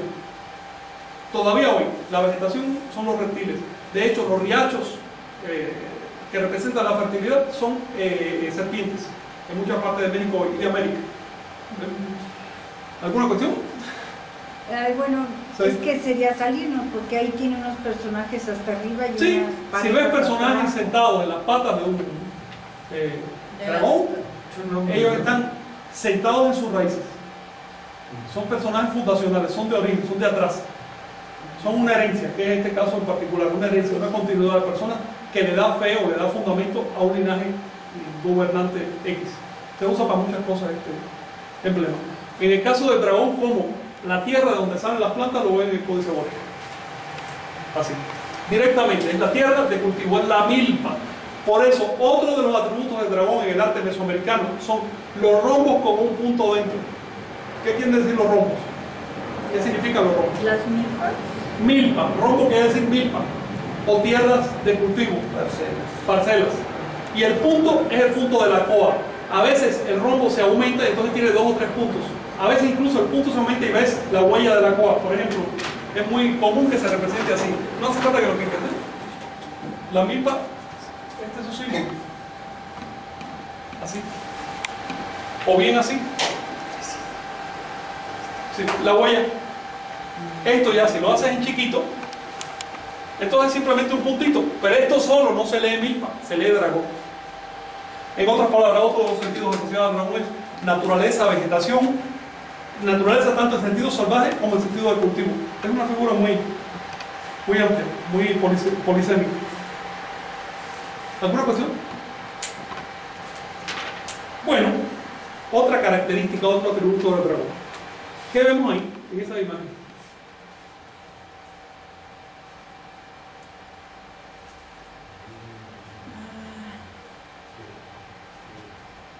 ¿Qué tipo de imágenes son? Pues es abajo del agua, está uno. Son luego imágenes astronómicas. Esto no es cualquier agua, es el el mar celeste. Teoatl, el agua divina, el océano. Teoatl quiere decir océano. ¿Y qué es esto? El cosmos, la, el En concreto, es algo muy concreto. ¿Lo puede decir, Toño? El sol y... Una constelación. Esa es una de tantas. Esto es la banda zodiacal, que- Ujú. por donde pasan los planetas y demás, y esta es una constelación que en este caso tiene tantas estrellas. ¿No será la galaxia? Pues la verdad yo no sé de astronomía como para, pero son estrellas de diferentes tamaños y ubicadas más o menos. Es muy probable que le llamaran la constelación Chalchihuitl. Pero representaba un dragón. Son cosas del arte mesoamericano. ¿De dónde está tomada esa figura? Códice, a ver, ¿quién se acuerda? Dice la U. La U, Códice la U. Que tiene un friso completo, aparece en otras constelaciones, ¿eh? caracoles, cosas. Eh, arriba ven un dragón de dos cabezas, bicéfalo. Cuando vean dragón de dos cabezas, ya no es una constelación, sino es la eclíptica completa que se toca. En ciertas lecturas, como en este caso, pero en otras lecturas ya no es la eclíptica, sino la franja opuesta, la que hace la cruz en el cielo. En el cielo vemos dos franjas. Una es la eclíptica. ¿Qué cosa es la eclíptica? Ya saben que está a 23 grados y medio al norte y al sur. Por lo tanto, una franja muy específica. Ya saben, y esto es algo importante, que en una visión que divide la esfera en 20 por 20, 400 grados, 400 escalones, ¿no? ¿La eclíptica mide cuántos escalones? Perdón, la ¿Tú lo has eclíptica medido, Otoño? Eclíptica, Si tú en vez de ¿Dónde pasan todos 360 los- los- mides 400, ¿cuánto mide la eclíptica? 18 grados, ¿no? Eso de los nuestros, hombre. No, la eclíptica, no estoy hablando de la división vigesimal. Sí, la eclíptica mide 23 grados y medio. ¿Ves? eh, Perdón, Es donde pasan todos los planetas. Y es por esto, no hace falta que lo quites. ¿eh? Mira, tenemos el Sol aquí, digamos, Mercurio, Venus, la Tierra y demás planetas. Y todos dan vueltas en un mismo plano. No hay planetas que giren así o así. En un mismo plano. Eso significa que si estás en uno cualquiera de los planetas, vas a ver que los demás pasan por el centro del cielo en determinada latitud del planeta. Si vas más al norte o más al sur, ya los planetas no pueden pasar por el centro del cielo. ¿Bien? Entonces ¿Qué latitud es esa? 23, Pues la franja de la eclíptica, es decir, el margen de variabilidad del- de la circulación de los planetas respecto al eje del Sol. Y esta franja mide 23 y medio al norte, 23 y medio al sur. Que es el punto donde sale y se pone el Sol. Pues bien, hay otra franja que es perpendicular a esta. Vamos a suponer que esta va de este a oeste, ¿verdad? Hay una que va de norte a sur. ¿Cuál es? A ver, piénsenlo. De norte a sur. Hay una cosa en el cielo que en nuestra cultura le llaman, hay una franja en el cielo. Se llama el camino, de hecho. El camino de Santiago. Es una franja que es perpendicular, más o menos así, no ni tan perpendicular, ¿eh? pero tiene una mancha en su centro que se llama eh, saco de carbón y tiene varios nombres, que es una nube que está entre la galaxia y nosotros, entre el plano de la galaxia y nosotros. Obviamente el plano de la galaxia no lo vas a ver como una galaxia de fotografía, nos rodea, la galaxia nos rodea y lo vas a ver así, como una serpiente. Y si tiene un hueco en su centro, eso va a dar la impresión de que la serpiente se toca. Esa es la boca de la serpiente, se muerde la cola, ese es el uroboros. La serpiente se muerde la cola. En Mesoamérica ese concepto de uroboros se representó no como una serpiente que se muerde, sino como una serpiente de dos cabezas. A veces se muerde, pero generalmente las dos cabezas, las dos bocas. ¿En qué parte de qué países se ve esa?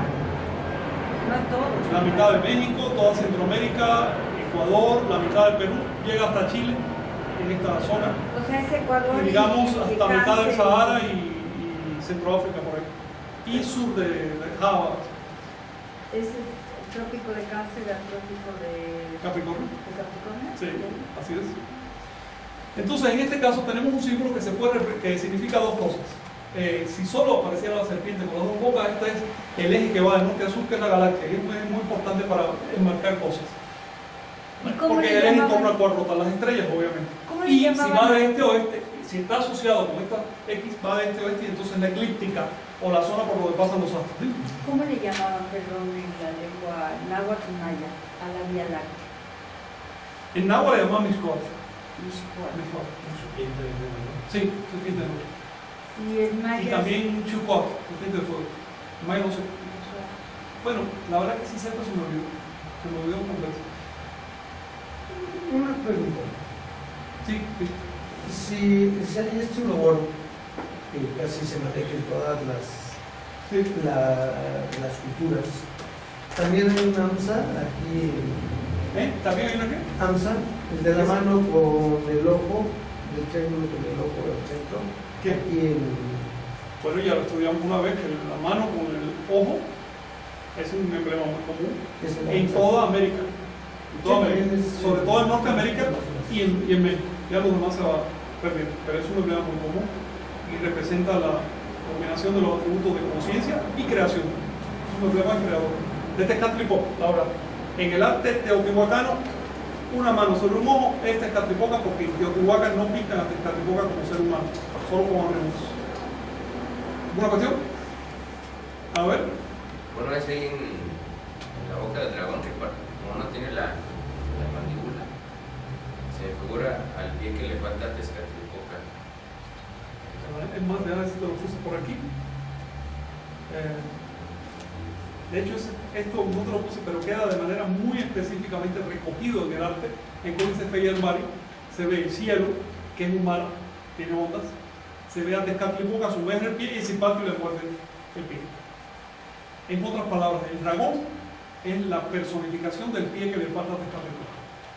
¿Ves? Ese pie faltante es, el pie que, es, es la ofrenda, es el sacrificio que da origen a la existencia.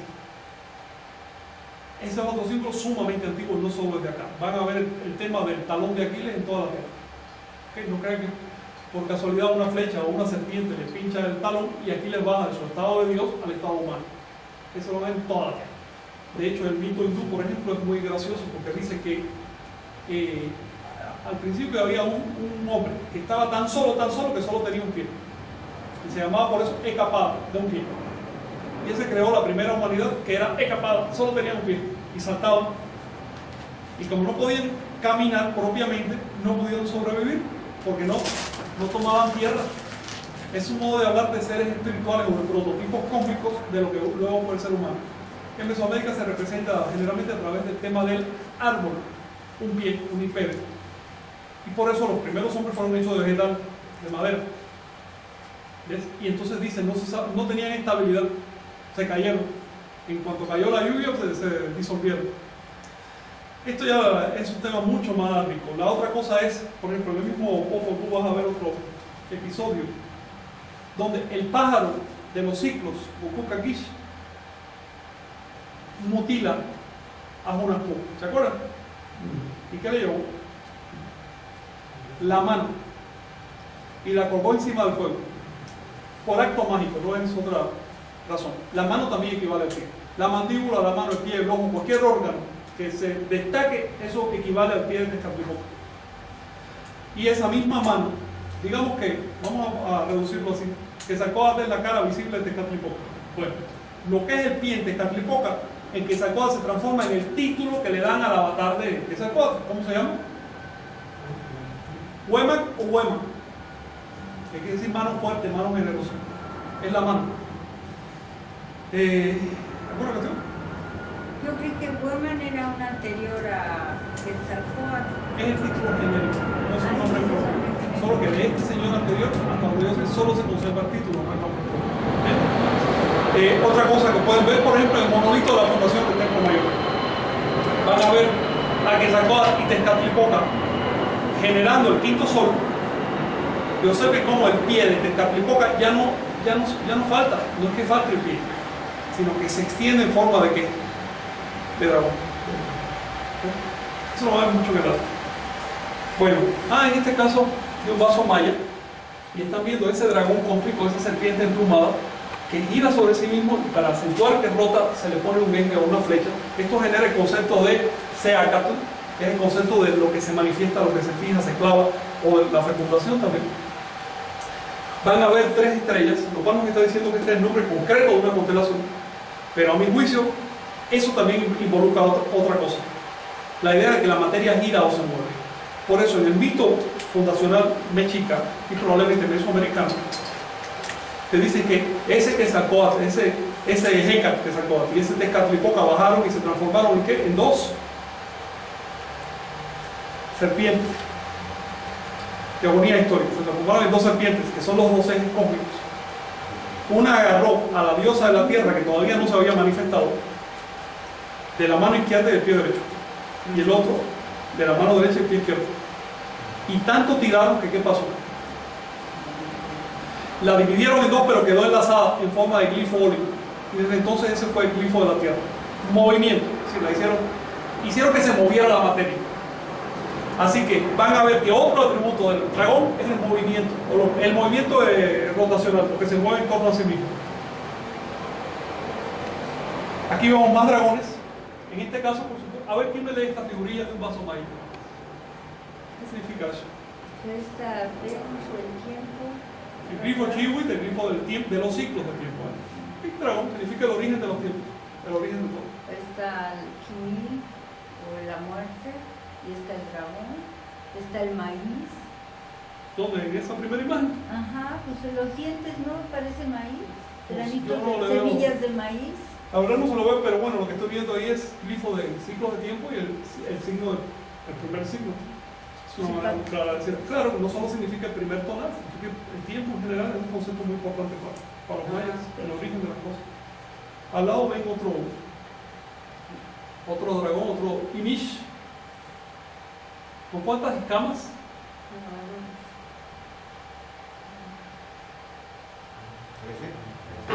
Tres escamas. ¿Eh? Otro dragón del tiempo. Una manifestación del ciclo del tiempo. Y la lengua es bífida, ¿verdad? Sí, es reptil. Y, y entonces los puntos y las ramas tres y abajo tiene cuatro. Bueno, sobre Dios, ya, ya Sí. tendríamos que ponernos. Pero. Ven muy claro la asociación entre el dragón y el tiempo, lo ven aquí. Esto es un dragón, observen la boca. El dragón se está tragando algo, que es un ciclo. Saca el ciclo por las diosas lunares. Está tragando una cantidad X de ciclo y no vamos a entrar ahora a hablar de qué significa esa cantidad de huellas y de, y de diosas, porque es un mecanismo muy concreto del calendario. En su momento lo estudiaremos. Dentro de la panza del dragón van a ver a Tezcatlipoca como señor de los ciclos de tiempo. Eh, unas operaciones mágicas o teúrgicas se dice, es decir, operaciones de creación. Y todo eso enmarcado por una serpiente que es la serpiente, un dragón del tiempo. Sabemos que es el dragón por las espinas que tiene y demás, que no son atributos de una serpiente. Y sabemos que es del tiempo por lo siguiente. Aquí tienen un grupo de tonales y aquí otro grupo. ¿Alguien se acuerda de esta lámina de lo que tiene ahí? Bueno, aquí van a ver los tonales de Zipacli a, Xochitl varias veces, los que quepan. Es decir, es el tiempo de manera teórica, general. Y aquí van a ver los cinco grupos de cargadores. Ya no son los 20 signos, sino la secuencia son los cargadores. ¿Ven? Pero los cinco grupos. Es decir, el tiempo ya distribuido, armonizado a través del calendario. En su momento a ver si podemos proyectar esa imagen, pero bien grandota, para, para estudiarla, ¿no? Sí, ¿cuántos Mm, tiene eh, Tezcatlipoca? ¿Qué es el que Diez marcaría cada grandes. uno de los cuatro soles? Bueno, de los cinco soles. Sí, no, pero en este caso no son dos soles, son 10 grandes. Y Claro. tienen más que ver con el tema de los signos a, lo- a- a- los que se atribuyen los órganos del cuerpo y otras cosas. tenemos que verlo en comparación con otras láminas para... Es muy compleja, por eso no quiero dedicarme a esta lámina. Pero a ver si la estudiamos cuando, Sí, cuando analicemos el códice Morse. Yo, yo lo que me refería ahí eran los cinco soles, pues, los cargadores. O sea, Ah, me supongo que son eh, los cinco. Cada sol tiene dos veces los cinco cargadores. Es decir, tiene 10 eh, paquetes de cargadores. 10 periodos de cargadores. Cada sol. Cada paquete dura 2.600 años. En 2.600 años hay 5 cargadores. Estoy hablando de arqueología. Es decir, ha habido más o menos 5.000 años de arqueología mesoamericana y notas eso. Que en 2.600 años se cubre el, el ciclo. Y por supuesto, desde el punto de vista calendario, tiene mucho sentido. Respecto a esto, es un ciclo un poquito diferente que hay que verlo con esto y con los 52 años de... Y eso lo vamos a estudiar en su momento, un ciclo bien bonito, yo le, le llamo Tonalmorpí, pero es un nombre que lo ¿Eh? Con el juego de las pelotas. El juego- donde vean juegos de pelota, sobre todo con templos o con deidades jugando, jugando a veces no con, no con una pelota, sino con una cabeza o un cráneo. Eso representa la creación, el acto de creación. Y no estamos hablando de algo que pasó en el pasado atrás, sino algo que está pasando ahora, lo que está por debajo de nuestra concepción eh, superficial del mundo, o. Eh, aquí vemos otro animal emparentado con el dragón. Están viendo cómo la tortuga desarrolla unos atributos que el dragón magnifica y adquiere otros después. Eso a su vez da origen a otro símbolo muy importante. ¿Cuál es? Calamar. Es un ejecal. A ver, ¿Qué animal vemos ahí? No, no es un calamar que parece de pronto. Camarón. Así pintado, no, tampoco, así pintado los peces. No, es como una serpiente. Son peces, son peces. Vamos a ver esta imagen, por ejemplo, que se la tomo de códice. ¿De qué códice es este? ¿Peñalmares o la tomo. La UPS. Eh, una lectura formal, ¿qué es lo que hay ahí? A ver. Pues está el mar Una cielo. mujer. Ah, lo básico, hay, un, hay agua, pero hay un agua que está para arriba. Para acentuar que es el agua de arriba, se hace esa onda y demás. Eso se llama Teodatl o el agua del espacio. Teodatl es el nombre del cielo, del cielo en general, o del cielo azul. Sí. Y abajo hay agua, pero está estancado. Y también se le pinta onda para demarcar que se trata de un estanque. De hecho, ese estanque está en el fondo de una cueva, según el mito. Porque ella dio a luz en el fondo de una cueva. Ahí parió hace años. Ahora, ¿qué significan las dos aguas? Agua de arriba, agua de abajo. ¿El todo? Bueno, el agua representa el espacio, la totalidad. Cuando se divide, está hablando de manifestación, del aterrizaje de esa agua celeste en el agua de abajo, que es un agua ya concreta. Por eso literalmente ella se metió en un estanque para parir. Ahora, ¿quién la preña? El Hécate. Es Hécate. Observen que la misma agua del cielo se transforma en la deidad. La deidad no es independiente del cielo o del espacio, que es un potencial fecundativo. Sabemos que le está preñando por este gesto. Y este, sí, Que es como la saliva. manifestación, lo que sea. Y el pico nos está diciendo que es quien, el aliento. Es el mismo que preñó a Iquish, le dio, estira tu mano, le escupió y preñó. Pues El, bien, el aliento de la vida. Y la manifestación de Hécate en la tierra, ¿quién es? ¿Quién trae el mensaje? Bueno, según dice el mito, según dice el mito, estaba una virgen llamada Chimalma bañándose en lo profundo de una cueva y de pronto un pez se asoma y le entrega una piedra preciosa. Ella la agarra y como no tenía dónde guardarse, se metió en la, en la boca y quedó. El pez, ¿qué función tiene ese animal en la iconografía? El pez. ¿Están viendo ahí? ¿Qué cosa es el pez? Y es una función que aparece lo mismo en el arte mesoamericano que en cualquier otra forma de acto o de pensamiento, es universal. Supongo yo que excepto en lugares donde no haya peces. ¿no? A ver, ¿qué función tiene el pez en la iconografía universal y mesoamericana? Alimento. A ver, a ver, vamos a, a- a recordar el arte cristiano. En el arte cristiano aparecen peces. Sí, sobre todo en la época de Jesús. ¿Dónde aparecen peces? En la época de Jesús, por donde quiera. Como el elegido, el. Algo muy, mucho más concreto. El pez aparece en algún lugar de las iglesias. Aparecen dos peces cruzados en las puertas de las iglesias. Y ese pez en particular se lee Nahui.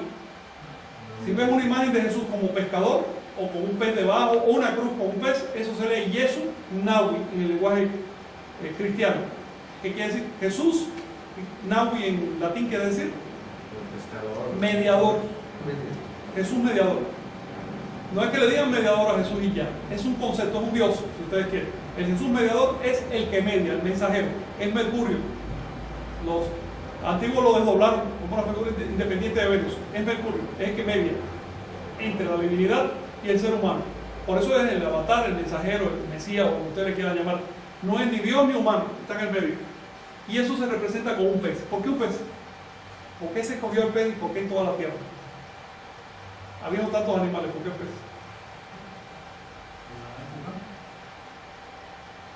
Ah, pues Es sí, de de, época, de- pero... de Acuario, la, la constelación. No, no, no, no, pero eso, ese simbolismo es muy anterior al Acuario. Ya en las cavernas ya aparece el pez con esa misma función.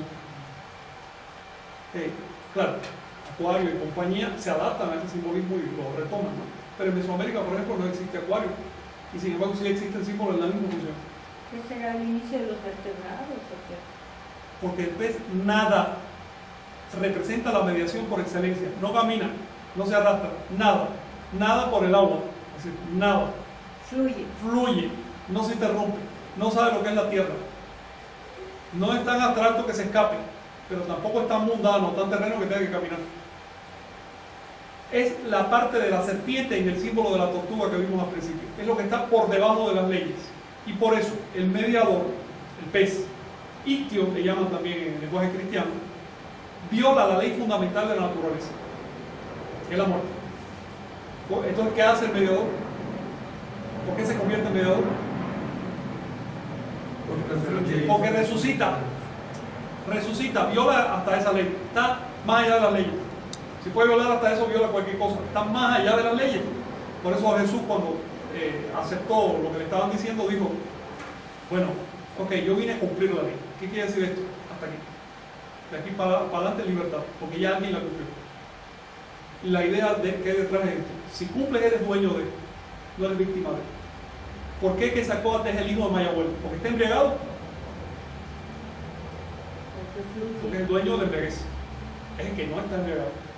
El pez entonces representa a aquel que no se deja embriagar, que no se deja atar, que no se deja entrampar. Recuerden que el emblema del nacimiento del niñito es un lazo que trae en la mano. ¿Se acuerdan? El pez no, no tiene ese problema.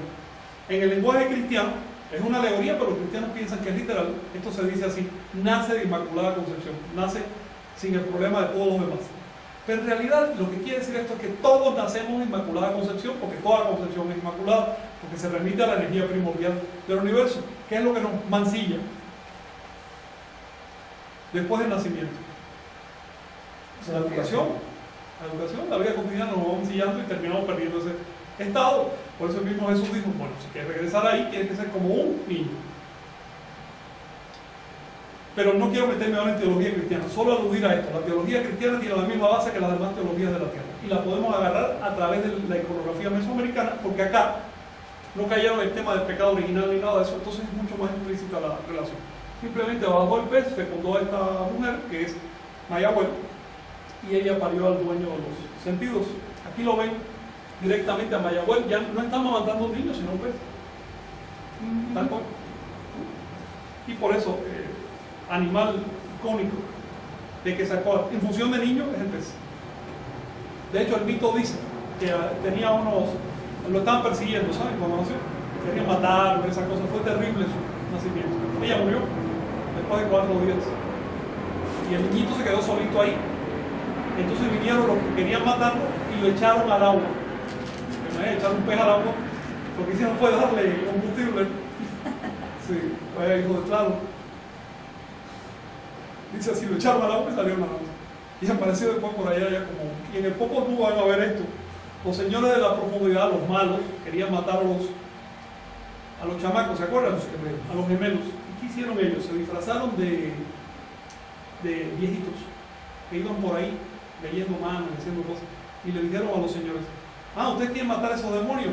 Son difíciles. La única manera de matarlos es, tienen que molerlos, moler, reducirlos a una pasta. Y eso tienen que echarle al agua. Y ahí pues ya se van a disipar.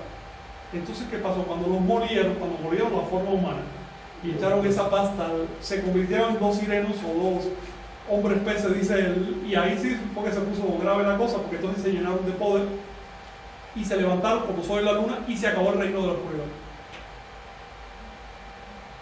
¿Alguna cuestión? ¿Te gusta ese mito, Toño? ¿Verdad que está bonito? Sí, hay que leer poco común, ¿eh? A ver si un día le dedicamos un cursillo.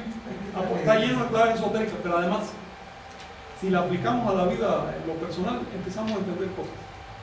Porque en el fondo esos mitos no son más que caminos, son indicativos, son señales para el camino. ¿Y la extra? ¿Qué quiere decir la última? Esto Olmeca se lo puse para que vean desde cuándo viene el pez como emblema de- del cielo.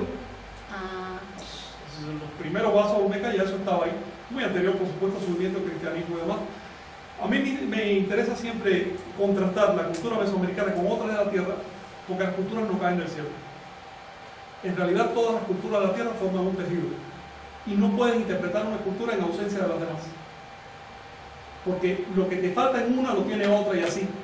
Cuando unes el panorama, entonces tienes un marco mucho más rico para, para entender. ¿Alguna cuestión? Eh, vemos el tema del hombre pez de una manera obsesiva en el arte, en este caso, Huasteco Totonaca. Fíjense qué perfecto, la cabeza se transforma en pez. Y representa a Tezcatlipoca. En el arte de entonces Huasteco y Totonaca, una cabeza de pez o un pez asociado de alguna manera a la cabeza, es Tezcatlipoca. ¿así? Así es. También que hablan de los inicios del cristianismo, ¿no? El- el- la cabeza de pez. El Papa. Es la cabeza de Osiris o la cabeza de Juan en el arte sumerio.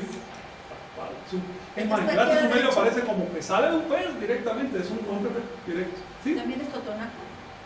No, nada Es más el que está en recuadro. Está... Sí, sí, Ah, son es- eh, ¿Los yugos dos totonacos? Yugos no, este, hachas. Hachas. Hachas totonacas. ¿Verdad? Piezas totonacas que se daban dos. Como, parece como trofeo de juego de pelota. El juego tenía un valor. ¿Y los otros son mayas todos? Vasos mayas esgrafiados, bueno, relieve esgrafiado en pintura. Esto es del códice Dresden. Este en particular, quiero que vean, fíjense que la cabeza aquí se le estira como pez. Pero acá ya no se estira como pez, sino como qué? Como un animal acuático que sostiene un pez.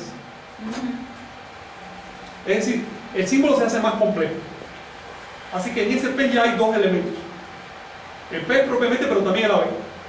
Sobre todo en Sudamérica eso se desarrolla mucho porque allá el equivalente que sacó a veces, con frecuencia, no es serpiente ave, sino pez ave. En Mesoamérica no es tan común, pero aparece con bastante frecuencia también. Y es importante eh, tipificarlo porque, si bien no es un dios en el sentido de los académicos, es un símbolo muy, muy, muy concreto. Significa algo muy concreto, lo ven aquí mucho mejor, el tema del ave pez. Esta ave pez, en este caso se ve muy claro que está saliendo del mar, porque aquí hay un pulpo, está saliendo del agua. Como un pelícano, ¿verdad?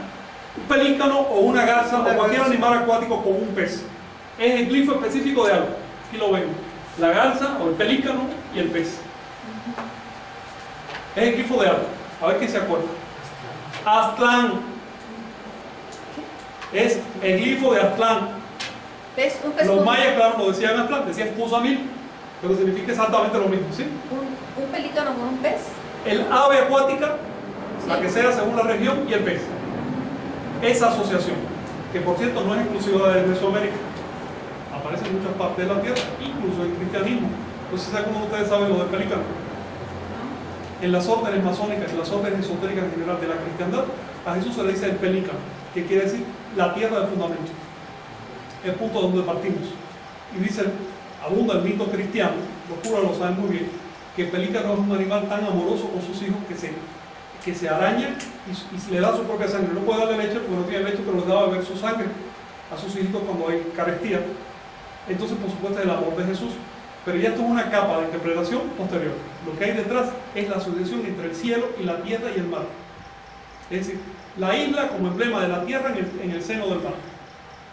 Y, el ave y el pez como lo que como el, el eje vertical. Por eso en esa isla hay una montaña que es otra forma de representar esto que ven aquí, el Atlán. ¿Sí quién iba a hablar? Sí. Sí, bueno, yo tenía entendido que la garza era el- la que las pecas, ¿no? Garza, pelícano, en general, ah, tiene varios simbolismos. Uno de ellos es el color blanco, que le da nombre a las plantas. Planta significa tierra blanca, ni siquiera significa isla, sino tierra blanca o radiante. Y ahí nos meteríamos en otro tipo de simbolismos para entenderlo. ¿sí? es una migratoria, ¿no? Ahí no sé, fíjate que en ese caso no sé, se, eh, no sé qué tenga que ver la, la Eh, se ve muy interesante eso. Habría que verificar que todas las aves que usaron para el Aztlán son migratorias y en ese caso se incorporaría. sí, es significado. Es el nahual. Pero básicamente es lo mismo que ver entre serpiente y pájaro. Solo que asociado al tema de la tierra de fundamento, la tierra de origen, el Aztlán, que no es un lugar físico. No lo van a encontrar ni en el norte de Estados Unidos o de México ni en ningún otro lugar, no es físico. Para entender el Aztlán, el Aztlán es lo mismo que en el lenguaje cristiano se llama el Gólgota. ¿El qué? Gólgota. ¿Qué cosa quiere decir Gólgota?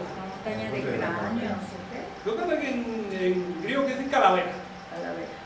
Que hayan clavado una cruz en una calavera y hayan crucificado al avatar, oye, es un simbolismo tremendo. Uno piensa casi que no ocurrió literalmente, sino que es un- una mera eh, cosmogonía. Porque esa montaña de Aztlán, que se llama Culhuacán, es decir, la montaña de las generaciones, tiene en su seno una matriz, ¿te acuerdan? Que se llama como la matriz.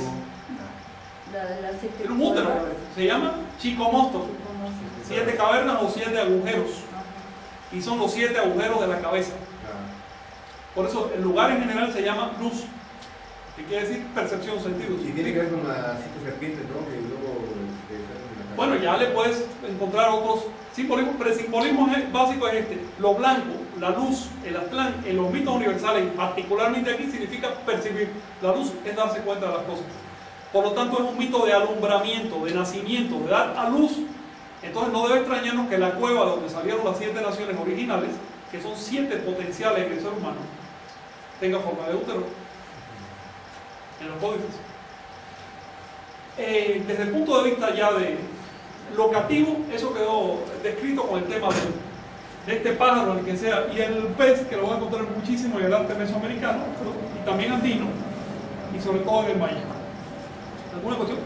Y civil también es. Cusamil, cusamil, se compone de cus blanco, a agua, que en realidad eh, aférese de ja, tú sabes, cus blanco, ja, agua y mil tierra. Bueno, amil, isla, Kuzhamil, isla. Kuzhamil es eh, la isla blanca, pero cuando lo unes así no puedes pronunciar la, la H, entonces Ku- Kusa, eh, como Chichen Itza, ¿sabes, no? En realidad es Chichen Itza. Eh, algún día platicaremos un poquito de eso de la regla de Maya. Ya tenemos muchos Pues, eh, por eso ah, quiero decirles que todo el país maya se llamaba Cozumel. No es cierto que sea la isla de Cozumel, ni mucho menos. Cozumel significa otra cosa además. Cozumel es un emblema de la isla blanca, pero no es la isla blanca. En, el Chila- en los chilames se dice varias veces, todos nosotros somos Cuzamiles y vivimos en Cuzamil. Así. Era el nombre político del país maya. Yucatán es un nombre ya europeo. Se llamaba Es como decir, imagínense que los mexicas le hubieran puesto a toda la agua eh, Aztlán o la tierra de los aztecas. Si los mexicas lo hicieron con los mayas, y lo hicieron mil años antes, o mil quinientos años antes que los mexicas, lo cual nos está diciendo que el mito es anterior. Si queremos entender Aztlán, no nos podemos quedar por las fuentes mexicas, porque no va por ahí. Eh, a ver qué hora tenemos. ¿Qué lo dejamos ahí? Porque queremos entrar en otro linaje de, de animales. ¿sí? Y esto está bastante largo. Sí, vamos a hablar de la mariposa, que es una cosa muy interesante. Eh, quiero dejarlo ahí y vamos a platicar de esto. ¿Tiene alguna pregunta? ¿Alguna idea? Aprovechen, pónselo. Este, es que de aquí salieron como ocho ideas pendientes, entonces, pues decir, bueno, eso luego lo platicamos porque eso... Ah, sí. Es que no quiero apartarme del hecho que esto es iconografía. Ok. ¿Ve? Eh, la semana pasada dimos una clase iconográficamente importante, porque es un tema que se ha estudiado muy poco, sí, o cero si quieres, y que aparece con frecuencia en el arte. Eso tú lo estuviste. Tú estabas, Toño. Hablamos de, de la Sisimit, el mito de la Sisimit, que es un mito básico. Sí. ¿se acuerdan qué significa? Las vamos juntando otra vez. Se le llama las arañas, se representa como araña, pero araña se dice toca. No Sisimi. ¿Qué quiere decir Sisimi? Literalmente. Pero el sentido literal del término te dice porque recogieron. Son dos palabras. Entonces, Sisimi significa. A ver, es el reduplicado de si, Sí. si, mitl. ¿Qué quiere decir mitl? Flecha. Y tzitzi, tzitzika, el verbo tzitzika, Yo creí que era- encajar o clavar. Leche. Flecha que se clava. que se clava o se encaja. Pero también tzitzi es el nombre que le dan a, a las cosas que brillan. Así que se puede traducir periféricamente flecha brillante o esplendente. O la flecha de la percepción. el punto de encaje. Sí. Pero etimológicamente, tzitz, tzitzi es del verbo tzitzika que pierde su fijo K verbal cuando se compone y significa flecha que se clava. El mito de la tzitzimit son unas flechas no sé si leen, por ejemplo, la historia de cómo que sacó, se prendió y subió, dice, estuvo tantos días por allá, tantos días por acá. ¿Y a qué fue? ¿A qué fue al inframundo? A proveerse de flechas. Y con esas flechas clavó la naturaleza. También en otro mito, el mito del nacimiento del sol, se dice que sale el sol y lo flechan, ¿se acuerdan? Flecharon al sol. En Huichilopochtli él se carga de flechas Sí. para nacer. También el otro mito de nacimiento de Quetzalcóatl, como lo la flechó. Exacto, estaba Chimalma, cuatro flechazos. Y ahí quedó preñado.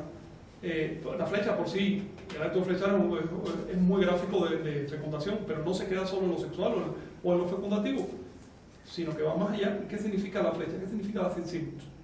¿Qué significa la flecha o el acto de encajar? Se lo voy a decir claramente. Carlos Castaneda, que estudió bastante, no la iconografía mesoamericana, sino la asociación entre los mitos y la percepción, digo, la percepción es un punto de encaje, es un acto de encaje, un acto de encaje perceptor. Eh, ¿Cómo sabemos eso?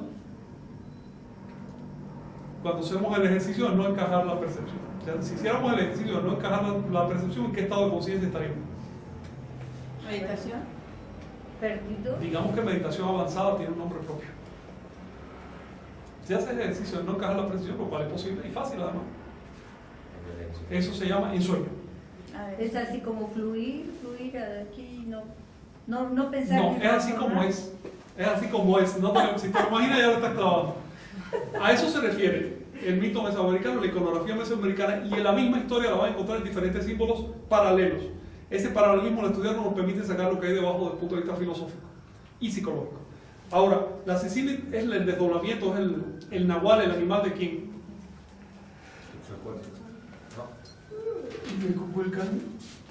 De Tezcatlipoca.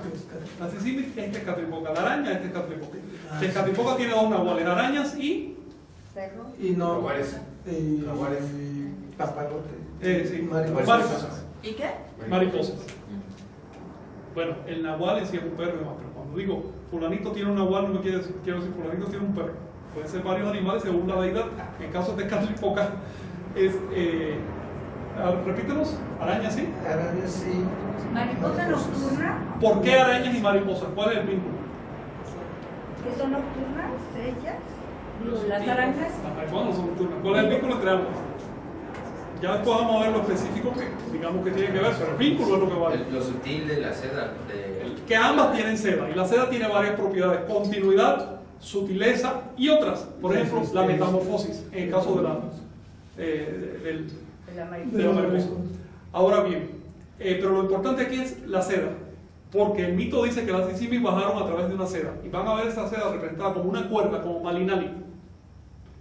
Malinali, recuerden que cuerda se dice meca, Ujú. pero a las cuerdas sagradas, a las cuerdas del mito no le llaman mecate, porque mecate es, mecate es solo una cuerda cualquiera. ¿Cómo le llaman entonces a la cuerda del mito? Malinali. Así se llama la cuerda malinal. En los mitos las cuerdas son malinali. De hecho, a las cuerdas, a la cuerda esa, a la cuerda que trae el niño al nacer en la mano, ese atado, se le da el nombre específico de ocho malinali. Así que cuando vean el mito mesoamericano la expresión chicoy malinali, bueno, los traductores te dicen mecate, pero no, no, no porque entonces hubieran escrito mecate. Pero Eso sí, significa algo mucho más importante, ¿sí? siempre nos han dicho que, al menos a mí, que malinaria es hierba retorcida. Sí, Una cuerda es, hierba retorcida. Lo que pasa es que no toda cuerda es malinali, porque malinali es además la cuerda que tuerce. ¿Cuál es la cuerda que tuerce? ¿A qué le llamaban malinali en, el, en, en- en la vida cotidiana? A algo muy específico. A las hierbas alucinantes.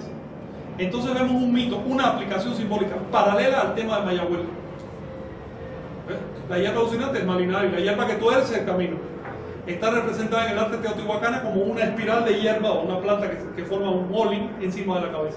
Malinali no por gusto hace el olin, porque no solo la hierba que tuerce, sino la hierba que le da movimiento a las cosas. Entonces encontramos un mito reflejo y es la idea de que la- la percepción procede desde un estado difuso o genérico como cuando nace el niño a un estado de focalización. De hecho, cultura, educación, no es más que el... ¿Qué cosa es la educación en el fondo? Desde el punto de vista energético y biológico. Es un, un orden. Normalizar Cuando educas a un niño, ¿qué estás, ¿en qué lo estás educando? ¿Qué le estás enseñando? Dotarlo de sugestiones, ¿no? Bueno, eso ya son contenidos y viene, bueno, viene del principio, pero sobre todo después. O sea, Pero al principio, en el primer año, los primeros dos años, tú todavía no le estás dando mucha cultura al niño. Tú lo estás educando de una manera muy específica para para sobrevivir. Estás dando una orientación. Más quienes hayan tenido hijos, ese primer año, ¿qué hicieron con ese niño? Desde el primer mes ya lo está haciendo la mamá. ¿Eh? conceptos. Nombres. No, Piensa en el niñito chiquitito, tiene la miradita así. Esta es una esponja y no, no se está fijando en nada. ¿Y qué hacen los padres? Los-. Es lo fijan, le enseñan a atender, a atender con el mismo dedo, para que, le pones una cosita para que, para que atienda. Tú no le pones al niño un muñequito difuso, No. tú le pones una cosa bien focalizada, con un ruidito, con algún brillito, algo, Claro. para que atienda. Esa es la educación fundamental y eso sigue a lo largo de toda la vida. Eso es lo que hace la sociedad con nosotros, nos hace atender. El padre, generalmente, con los hijos, le hace atender de manera genérica y por su bien, para que sobreviva. Porque el niñito que no aprende, el animalito que no aprende a atender, eso no solo lo hace el padre humano, lo hace hasta una perrita con su perrito, lo que uno no se da ni cuenta. Pero el animalito que no aprende a atender no, no mama, se muere. Ahora, ya después que uno entra en los procesos sociales y eso, la sociedad te sigue enseñando a atender. Atender lo que a la sociedad le da la gana. ¿Ves? ¿Para bien o para mal? ¿Qué significa el acto de atender? Es atender. Cuando atendemos objetivamente, es lo que estamos haciendo, poniéndole un cerco alrededor a la percepción del chamaco para que no atienda a otras cosas, Enfoque. Que se enfoque solo en una cosa.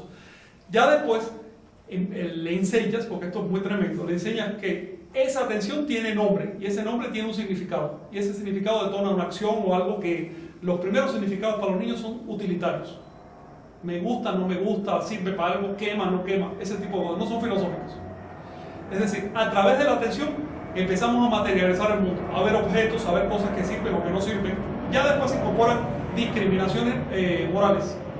¿Ves? ¿Sirve para mi salvación eterna o no me sirve para ¿Ves? Pero eso es mucho después, ya después de 5, 6, 7 años. Eh, por lo tanto, los mesoamericanos al estudiar el fenómeno humano y el fenómeno de la conciencia, dijeron, la clave está en si atiendes o no atiendes. Hay un ejercicio universal además, pero con mucho énfasis en Mesoamérica, que consiste en manejar la atención. ¿Cómo se llama ese ejercicio? Un ejercicio obvio, básico, que debemos hacer todos los días y a cada momento. La meditación. Meditación. Es el arte de entrenar la atención. Para ya sea atender a lo que quieras o no atender a lo que no quieras. Así. Si eres dueño de la atención, puedes también no aplicarla. Y en ese caso vuelves otra vez a la conciencia difusa o genérica del niño, lo cual no significa que estés en un estado superior, porque de hecho es una desventaja desde el punto de vista de la supervivencia, pero significa que estás en un estado germinal y por lo tanto ahí puedes escoger cualquier otra forma de atención. Por ejemplo, si estás haciendo un examen y ya estás embotado porque estás obcecado con una línea de pensamiento, más te vale que aprendas a descongestionarte, porque a lo mejor la solución está por otro lado. Esto es una cosa muy práctica, se usa en todos los niveles y se le dan muchos nombres, pero si lo estudias en el fondo, se reduce a un acto de atender o no atender, a un bit, ¿ves? A un positivo o negativo. Tonal es el nombre que le dieron al acto de atender, nahual al acto de no atender, pero la no atención puede ser de dos maneras. Tú puedes no atender porque acabas de nacer y no tienes ningún entrenamiento y ese es tu estado básico. Y también puedes no atender porque aprendiste a descongestionar la percepción. Y eso ya ha sido trabajo. Y la verdad es que la diferencia es abismal. Si tú simplemente eres uno, acabado de nacer, eres parte de, un relleno que sabe Dios si tenga futuro o no.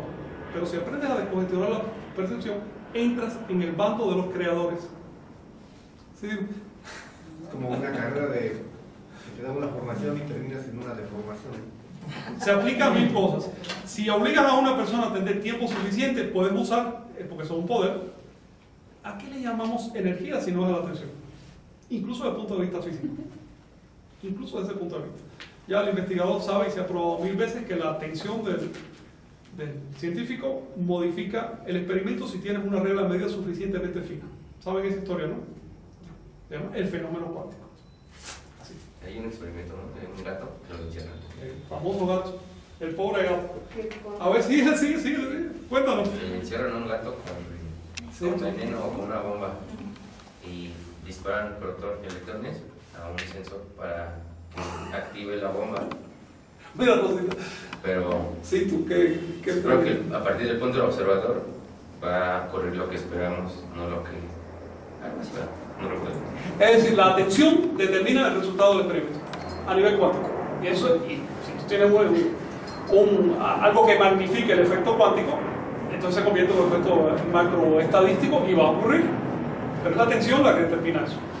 Ahora, no me quiero meter en, meter en esos paquetes. Cuando digo que la atención lo determina, no estoy diciendo que la atención del individuo lo determina, sino la atención como un poder cósmico.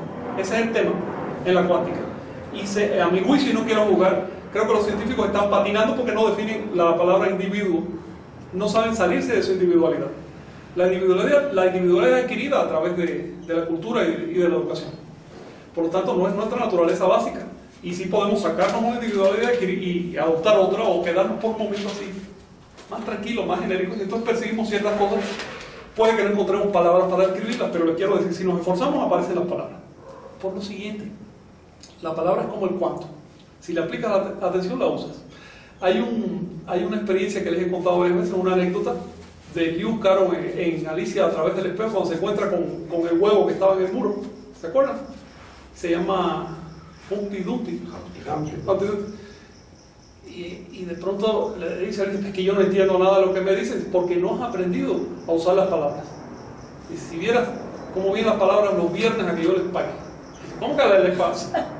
El que le paga, las maneja. El que paga, manda.